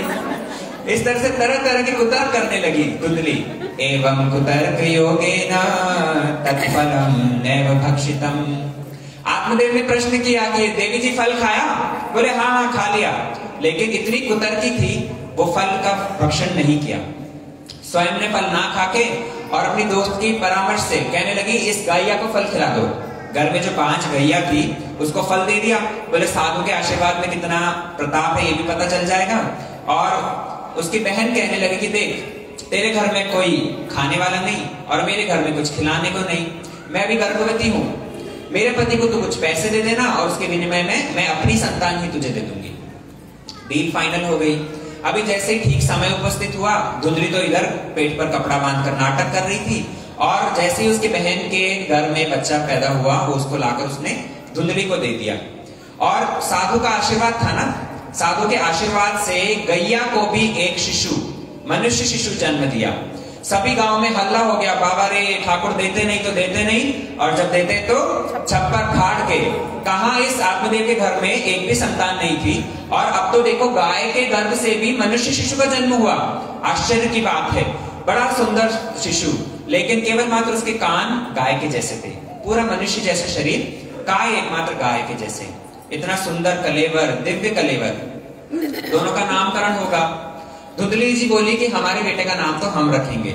मेरा नाम धुंधली इसका नाम धुंधुकारी। धुंधुकारी। धुम धुम अज्ञानम कलहम करोति कार्यति सा धुंधुकारी। ये भी अपनी माँ के जैसा ही कलह प्रिय है। थोड़े थोड़े जैसे दोनों बच्चे बड़े होने लगे। जिस पुत्र का जन्म गाय से हुआ था उसका नाम रखा गौकर्ण क्योंकि उसके कान गाय की तरह थे। लेकिन गौकर्ण पंडितो गाणी धुंधुकारी महाखल। ये जो धुंधुकारी था, वो तो एकदम खल। इतना दुष्ट था कि गैया के पूछ खींच कर भाग जाता। गाँव में बछड़े के बच्चे खेल रहे होते तो उनको कुएँ में धक्का दे देता, अपने घर के बर्तन ले जाके बेच देता। इतने सारी मस्ती करता, शाम होते होते जब तक सात आठ कंप्लेन घर में ना आ जाए, तब तक उसको चैन नहीं पड़ता था। लेकिन गौकर्ण जी बड़े पंडित, बड़े आत्मसंयम और बड़े ज्ञानी। इस तरह से दोनों पुत्रों ने क्या किया? अपना ख्याति ग्रहण करी। लेकिन धीरे धीरे धुंधुकारी का उत्पाद इतना बढ़ने लगा कि पिताजी को मारने लग गया। मैया से पैसे माँगता, बोले, जो भी घर में निकालो। और पिताजी तो एक दिन दुखी होकर और आत्महत्या करने के लिए फिर चले गए। जब आत्महत्या करने के लिए जा रहे थे, उसी समय पर गौकर्ण जी उनको मिले और गौकर्ण जी ने पिताजी को बड़ा सुंदर उपदेश दिया। बोले, पिताजी, न च इंद्र सुखम किंचित न सुखम चक्रवर्ती न आप क्या सोच रहे हो कि इस संसार के अंदर पुत्र प्राप्त होने से सुख मिलेगा? पुत्र प्राप्त होने से सुख नहीं मिलता, पिताजी। ये देख लो, भुगत कर देख लिया ना आपने। बोले हाँ बेटा, तू ठीक कह रहा है।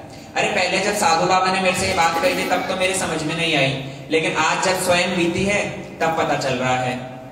धुंधुकारी गौकर्ण जी ने अपने पिता को बड़ा सुंदर उपदेश देते हुए कहा कि धनी कहे धनवान, गरीब कहे धनवान सुखी। धनवान कहे सुख, इंद्र को भारी। इंद्र कहे चतुरान्न सुखी, चतुरान्न कहे सुख ब्रह्म को भारी। लेकिन तुलसीदास जी कहे, बिचारी, बिना हरि भजन, सब जीव दुखिहारी। गोकर्ण जी अपने पिता को समझाते हैं कि पिताजी, सब लोग यही सोचते हैं, जो लोग गरीब हैं, वो सोचते हैं, पैसा प्राप्त करके हम सुखी हो जाएँगे। जिन लोगों के पास में पैसा है, वो सोचते हैं कि हमसे ज़्यादा सुखी तो स्वर्ग के इंद्र देवता इत्यादि होंगे। जो इंद्र के देवता इत्यादि हैं, वो सोचते हैं कि भैया ब्रह्मा और शिव जी का सुख बड़ा ही श्रेष्ठ है। लेकिन नहीं। बिना भगवान के भजन के कोई सुखी नहीं रह सकता। देह अस्थि मांस रुधिर अभिमति त्यजत्वम जाया सुतादिषु सदा ममता विमुञ्च। अन्यश्च हस्तचरणं पश्चानिशं जगति पश्यानिशं जगदिदं क्षणभङ्गनिष्ठं। वैराग्यरागरसिको भव भक्तिनिष्ठ कह रहे पिताजी इस संसार में बंधन के दो ही कारण हैं। एक तो मैं और दूसरा मेरा। जब तक हम इस शरीर को मैं मानते हैं हम देखो हम भारतवासियों का इतना सौभाग्य है कि शुरू से ही हमारे अंदर ये ज्ञान तो रहता ही है कि हम ये शरीर नहीं है। ये शरीर सबको एक दिन छोड़ना ही पड़ेगा। ये तो एक पंचायती धर्मशाला है है ना? क्षिति जल पावक, गगन, समीरा, पंचरति, ये अदम शरीरा। ये शरीर तो आकाश, मिट्टी, वायु, अग्नि, जल से मिलकर एक पिंड बना हुआ है। लेकिन समय आने पर इस शरीर से जब आत्मा चली जाएगी तो इस शरीर तो यही रह जाएगा और आत्मा अगले शरीर में चली जाएगी। अरे, जब ये शरीर आपका नहीं है तो इस शरीर से संबंधित लोग कैसे आपके हो सकते हैं? इसीलिए क्या करो? पश्चानिष्टम जगदिदम क्षणभंग निष्ठम अपने परिवार से जो आसक्ति है, मैं और मेरा, ये मेरा पुत्र, ये मेरी पत्नी, ये मेरे पति, ये सारी आसक्ति को हटाओ। केवल मात्र कृष्ण को केंद्र करके और कृष्णेर संसार करो छाड़िया ना छा भगवान को केंद्र में रखो, सारा संबंध अपना बना लो तो एकमात्र कृष्ण से। भगवान से यदि संबंध बनाकर चलोगे और भगवान का दास रूप में यदि सबको मानोगे, तब तो सुखी रह सकते हो। क्या करो? अन्यश्च दोष गुण चिंतन आशु मुक्त्वा। किसी के दोष मत देखो। किसी के गुण भी मत देखो।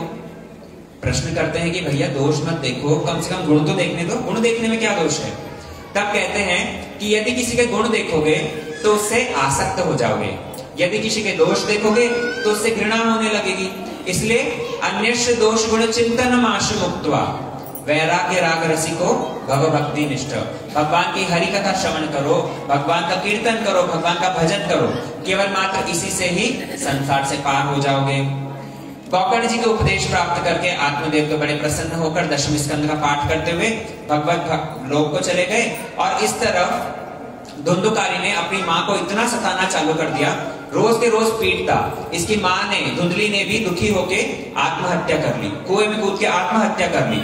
अभी ये तो इतना दुराचारी हो गया छह छह वैश्याओं को घर में ले आया और उनका पालन करने के लिए कहीं पर चोरी करता, कहीं पर डकैती मारता, रास्ते चलते लोगों को लूट लेता। एक समय तो ये वैश्याओं ने इतनी मांग करी कि उनकी मांग को पूरी करने के लिए राजा के राजकोष में इसने डाका डाल दिया। अभी जब पूरा माल खजाना घर लेकर आया, सारी वैश्याएँ सोच रही कि भैया अगले दिन जब सैनिक खोजते खोजते आएँगे, इसके साथ साथ हमें भी पकड़ लेंगे। रातों रात जब ये सो रहा था दो ने हाथ पकड़े दो ने पैर पकड़े। एक ने गले में फांसी का फंदा डालकर बड़ी बुरी तरीके से उसको मारने की चेष्टा करी। जब मर नहीं रहा था तो जलते हुए कोयला लेकर अंगार को लाके उसके मुँह में ठूस ठूस के उसको वहीं पर मार दिया। गड्ढा खोद के घर में ही दफनाया और छह की छह वैश्या माल लेकर फरार सुखदेव गोस्वामी कहते हैं यहाँ पर कि वैश्य महिला, यद्यपि बड़ी ही कुलीन होती है, लेकिन यदि अबला नहीं रहे तो उसका विश्वास करना बड़ा ही घातक है। जब वैश्याएँ चली गई, इसकी इतनी दुर्गति से मृत्यु हुई थी ये प्रेत योनि को प्राप्त हुआ। और जब गोकर्ण जी को पता हुआ ये बात, भाई का गया में पिंडदान करके आए, श्राद्ध करके आए। पिंडदान करते हैं ना, गया में लोग, जो लोग जाकर श्राद्ध करते हैं, भगवान के चरण चिन्ह है वहाँ पर। तो इसलिए वहाँ पर यदि किसका पिंडदान हो तो उससे मुक्ति प्राप्त हो जाती है। लेकिन जैसे ये पिंडदान करके पुनः घर में आए हैं यहाँ पर धुंधुकारी अलग अलग रूप लेके कभी बकरे का, कभी भैंसे का, कभी हाथी का अलग अलग रूप लेकर अलग अलग तरह की आवाज़ निकाल रहा है। उनको डराने की चेष्टा कर रहा था। लेकिन जैसे ही अभिमंत्रित जल लेकर उसके ऊपर छिड़का, तभी बोलना चालू कर दिया अहम भ्राता तुदीयोस्मि धुंधुकारी नामत अरे, मैं आपका वही भाई धुंधुकारी हूँ। इतनी दुर्गति से मेरी मृत्यु हुई है कि आज मुझे एक प्रेत प्राप्त हुई। आप मेरे उद्धार का कुछ कार्य बताइए। आप ही मेरे उद्धार का कुछ उपाय कीजिए। मैंने पूरे जीवन कोई पुण्य कर्म नहीं किया। लेकिन आप जैसा एक भाई प्राप्त हुआ है, यही मेरा सर्व सर्वोत्कृष्ट कार्य है। इसलिए आप मेरे उद्धार का कुछ कार्य कीजिए। सूर्यदेव से परामर्श करके गौकर्ण जी ने उसी समय पर ये भागवत कथामृतम का आयोजन किया। पूरे गाँव में हल्ला हो गया कि भैया, गौकर्ण जी भागवत कथा करेंगे। हज़ार हज़ार लोग उमड़ कर आ गए। वहाँ पर भागवत के लिए सब जयकार देने लगे। बोलो श्री भागवत कथामृतम की। गोकर्ण जी बड़ी बुरी बुरी महिमा गा रहे थे भागवत की। सदा सेव्याम सदा सेव्याम श्रीमद भागवती वार्ता यस्य श्रवण मात्रेण हरिश्चित्तम समाश्रय भागवत की इतनी महिमा गा रहे थे वहाँ पर धुंधुकारी सात गांठ वाले एक बाँस के अंदर आश्रय लेकर और भागवत कथा सुन रहा था। प्रेत योनि वायु योनि होती है ना तो इसलिए बाँस के अंदर आश्रय लिया। एक एक दिन की भागवत कथा होती और एक एक बाँस की ग्रंथि चटक जाती। जैसे ही सात दिन की कथा पूर्ण हुई, दिव्य रूप धरो जात तुलसी दाम मंडिता। बड़ा सुंदर स्वरूप धुंधुकारी ने धारण किया। चतुर्भुज रूप पीताम्बर धारण करा हुआ है। सर पर मुकुट है, किरीट, कुंडल, गले में माला है। इतना सुंदर विष्णु दूत का स्वरूप धारण किया। और उन्हीं के लिए एक रथ भी आया। सारे विष्णु दूत जब वहाँ पर उपस्थित हुए, धुंधुकारी को लेकर जाने के लिए, गौकर्ण जी ने प्रश्न कर लिया कि भैया, यहाँ पर तो इतने सारे श्रोता हैं और आप रथ लेकर आए हो एक ही। एक रथ क्यों लेकर आए? कथा तो सबने सुनी है। तो उस समय पर विष्णुदूत कहते हैं कि कथा सबने तो सुनी, लेकिन कैसी कथा सुनी? पल्लू झाड़। कथा वहीं की वहीं सुनी और सब वही शिक्षा वही झाड़ के चले गए। लेकिन एक मन से कथा के पूरे सार सार को ग्रहण करने वाला एकमात्र धुंधुकारी ही था। इसीलिए इसके लिए रथ आया, आया है। इसलिए कहते हैं कि सबने मन देकर कथा नहीं सुनी। गौकर्ण जी कहने लगे कि इनके लिए रथ नहीं आया। नहीं सब धुंधुकारी को लेकर विष्णुदूत चले गए। गौकर्ण जी ने पुनः वापस भागवत सप्ताह का आयोजन किया। बोले चिंता मत करो तुम सभी का भी उद्धार मैं करवा के रहूँगा। अभी दूसरी बार दोबारा भागवत कथा का आयोजन हुआ। सभी वहाँ पर एक मन से कथा सुन रहे थे। और जैसे ही सात दिन की कथा पूर्ण हुई, साक्षात भगवान गोलोक वृंदावन से आए हैं और गौकर्ण जी की बड़ी बुरी बुरी महिमा गाई। तुम जैसे भागवत वक्ता, तुम जैसे परम दानी की महिमा तो मैं चतुर्मुख में भी नहीं गान कर सकता। तुम्ही के कारण, तुम्हारे ही कारण आज ये इतने सारे लोगों का उद्धार हो पाया है। इसीलिए सब जितने वहाँ पर श्रोता बैठे थे, उन सभी के लिए एक एक रथ आया। सभी ने सुंदर चतुर्भुज स्वरूप धारण करके और भगवान के धाम को गमन किया। बोलो श्री भागवत कथा अमृतम की। इसलिए वहाँ पर आप लोग भी कथा सुन रहे हो। जब कथा की विश्राम होगी ना अब सबके लिए एक ही। रथ आएगा आप जाओगे? सही सही बता कौन जाना चाह रहा है? आज जुड़ा कब जाएगा सब झूठ बोल रहे हैं। अगर अगर सचमुच से क्या रथ आ जाएगा ना सब आ जाएँगे घर में। बोलेगा मैं बेटी के साथ निकलेगी बेटा, छोटा बच्ची को रोटी को मिलाएगी? कोई भी यहाँ नहीं रहो, चिंता मत करो। देखो, जो भगवान की भक्ति करते हैं कथा सुनते हो, देखो, ध्यान देकर सुनो। आप लोग जहाँ जिस घर में ठाकुर का भक्ति पूजा हो, जिस घर में भगवान की भजन हो ना, वही घर ही वृंदावन। और तुम तो गुजर ही रही हो।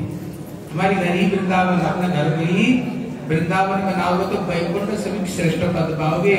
भगवान बोलो, वृंदावन वृंदावन से वैकुंठ से पहुंचगे तो वैकुंठ गए। लेकिन आप कहा जाओगे भगवान की गोलोक वृंदावन ठाकुर के पास में जाओगे जिस घर में ठाकुर को भक्ति पूजा हो, वही वृंदावन। तो वृंदावन में रह रहे हो तुमको जाने की कोई ज़रूरत नहीं। लेकिन घर में क्या करो, भगवान की भक्ति करो, भगवान की प्रेम करो।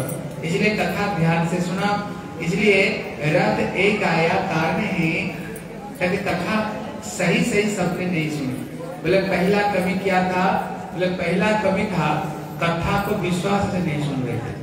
कहते, विश्वास गुरु वाक्य सुन पहला नंबर है विश्वास रखो। लेकिन आश्चर्य की बात है, जब हम फ़िल्म देखते हैं ना, हम तो शाहरुख खान को सही मान लेते हैं, सलमान खान को सही मान देते हैं, अमिताभ बच्चन को सही मान देते हैं, लेकिन भागवत को सही नहीं मानते।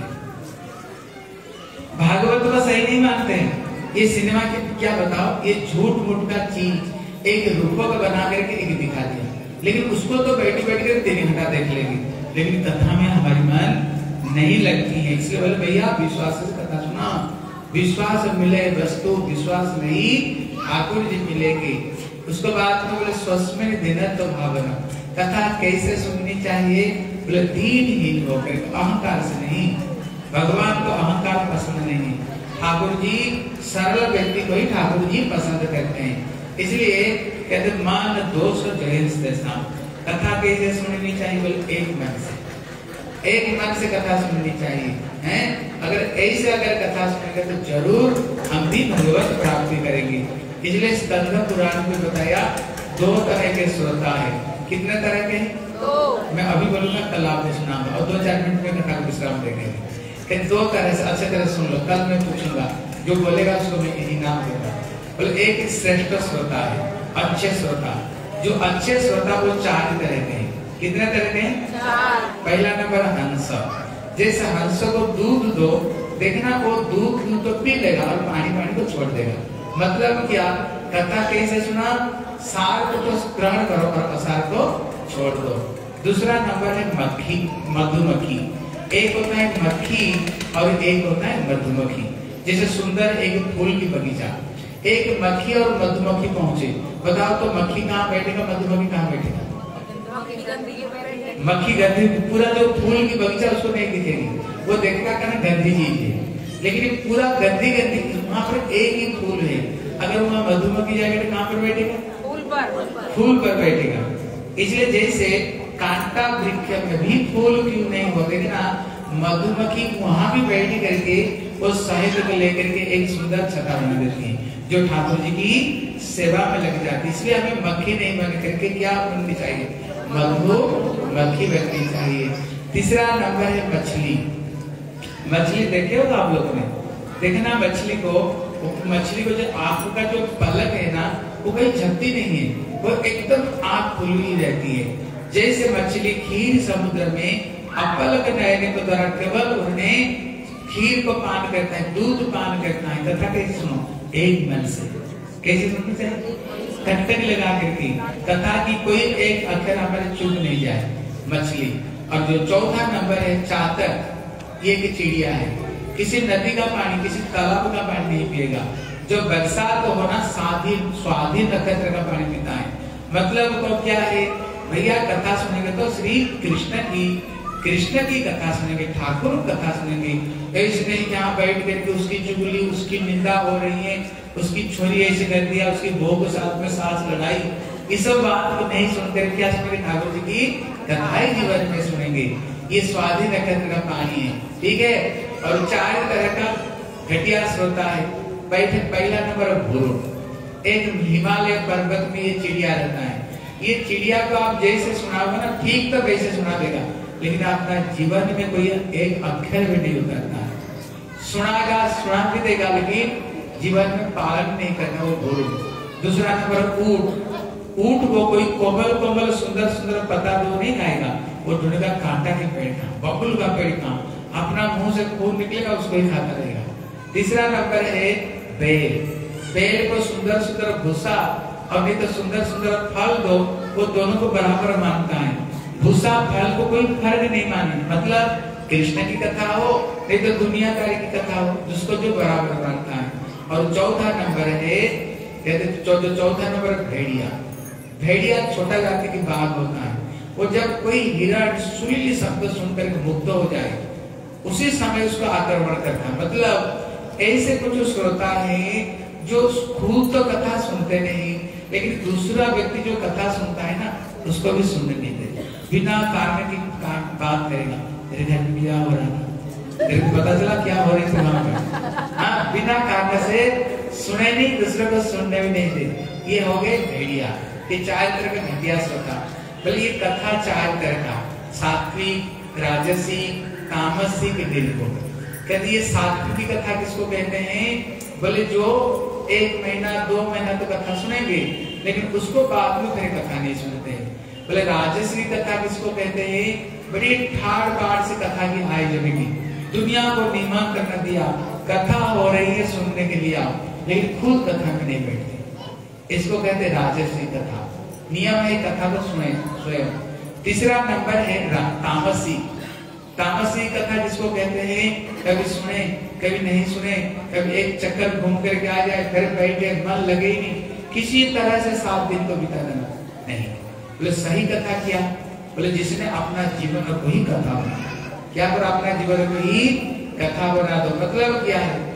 घर में नियम करके, जैसे घर में लड्डू गोपाल है, रोज ठाकुर को जो आरती करते हैं, ठाकुर को स्नान करते हैं, जो कुछ बना तो ठाकुर को भोग लगाते हैं।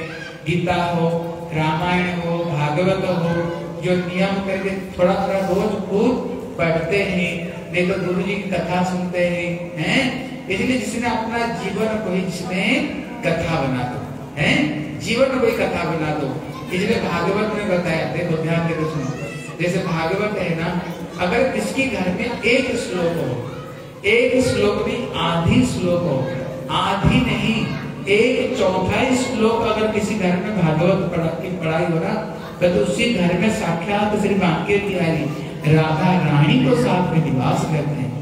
इतने महिमा भागवत की। इसलिए जिसी घर में भागवत रोज अगर कोई श्लोक को पढ़े कहते साक्षात ठाकुर जी घर में निवास करते कितने महिमा ये कथा की।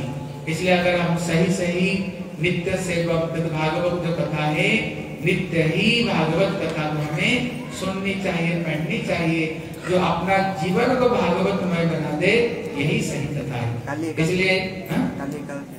और कल एकादशी है? हाँ। ओ बाबा देखो अगर भागवत का बीच में अगर कोई एकादशी आ जाए ना समझो चाल चाल लग गई।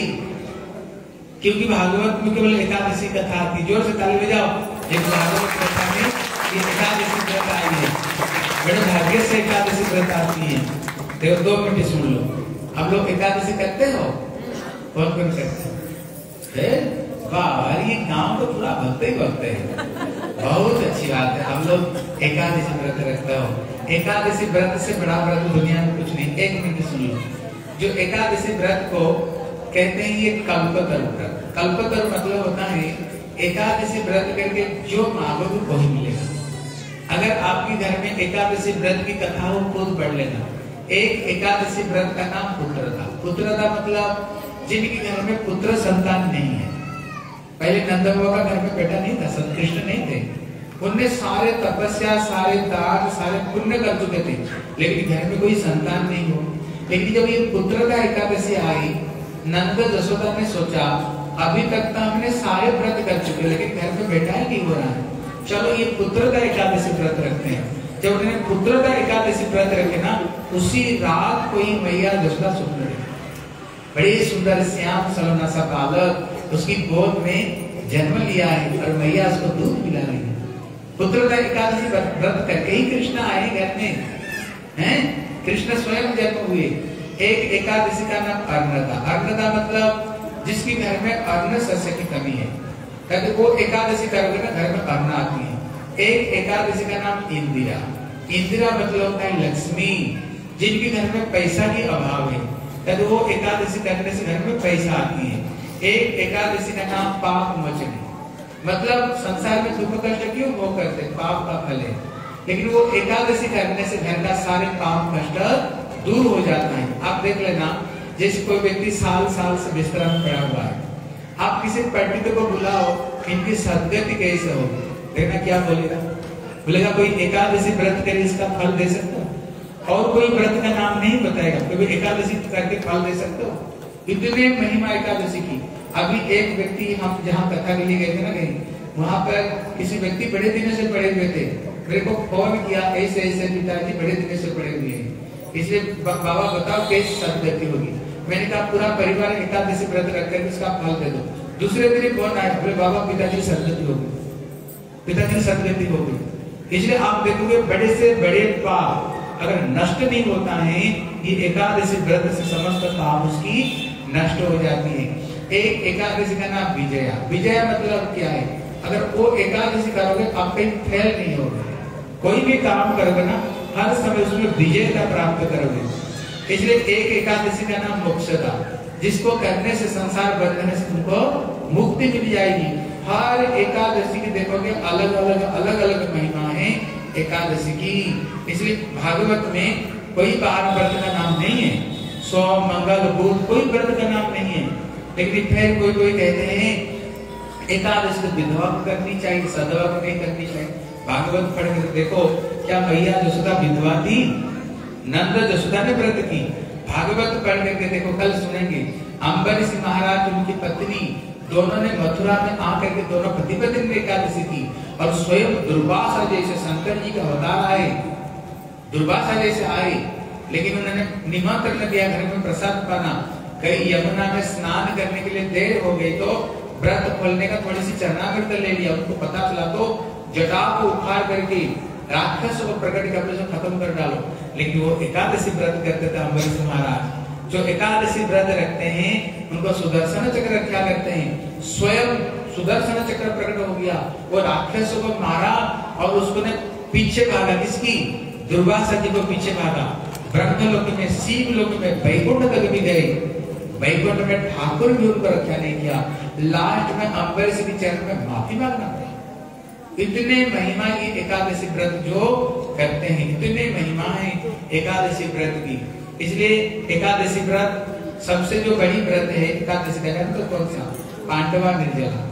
जिसको पंच पांडव ये द्रौपदी को साथ में करते थे क्या द्रौपदी विधवा थी द्रौपदी? नहीं। इसलिए एकादशी व्रत आठ साल से लेकर अस्सी साल तक करनी चाहिए एकादशी व्रत को, ठीक है? फिर कोई कोई कहते हैं, इसकी उद्यापना करना पड़ता नहीं, हम वैष्णव लोग कोई उद्यापना नहीं करते हैं। एकादशी भक्ति देवी है। जब तक तुम्हारी समर्थ तब तक करो। अगर समर्थ नहीं छोड़ दिया तो भाई तुम्हें पाप नहीं लगेगा, ठीक है ना? इसलिए मुझे लगता है आप लोग तो एकादशी कर रहे हो। जो लोग नहीं कर रहे हो, आप लोग भी एकादशी करना कल मैंने सुंदर सुंदर आपकी एकादशी की कथा सुना सुनाऊँगा ठीक है? बोले, श्री वृंदावन बिहारी भागवत कथा मृतम की जय। जय श्री राधे। हाँ देखो, जो कल है, कितने बजे आओगे आप लोग कथा सुनने के लिए?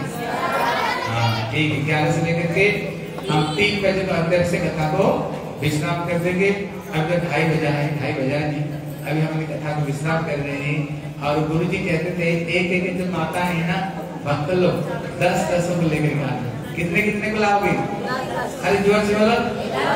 गुरु जी कहते थे, आप जिसको भागवत कथा इधर सुना, जिसको आप भागवत कथा में लाओगे ना, जिसको लाओगे उसको जो पुण्य मिलेगी, लाने वालों को उसका आधा फल मिलेगा। गुरुदेव कहते थे। क्योंकि आप उनको अच्छे काम पर ले आ रहे हो। भगवान की कथा में ला रहे हो जिसको लाओगे जो लाने वालों को उसका आधा आधा मिल जाएगी। इतने महिमा अभी प्रभु जी एक भजन गाएँगे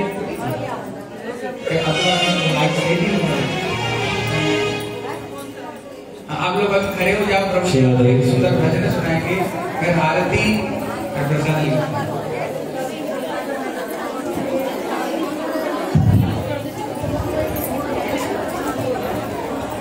लेंगे श्री जय राम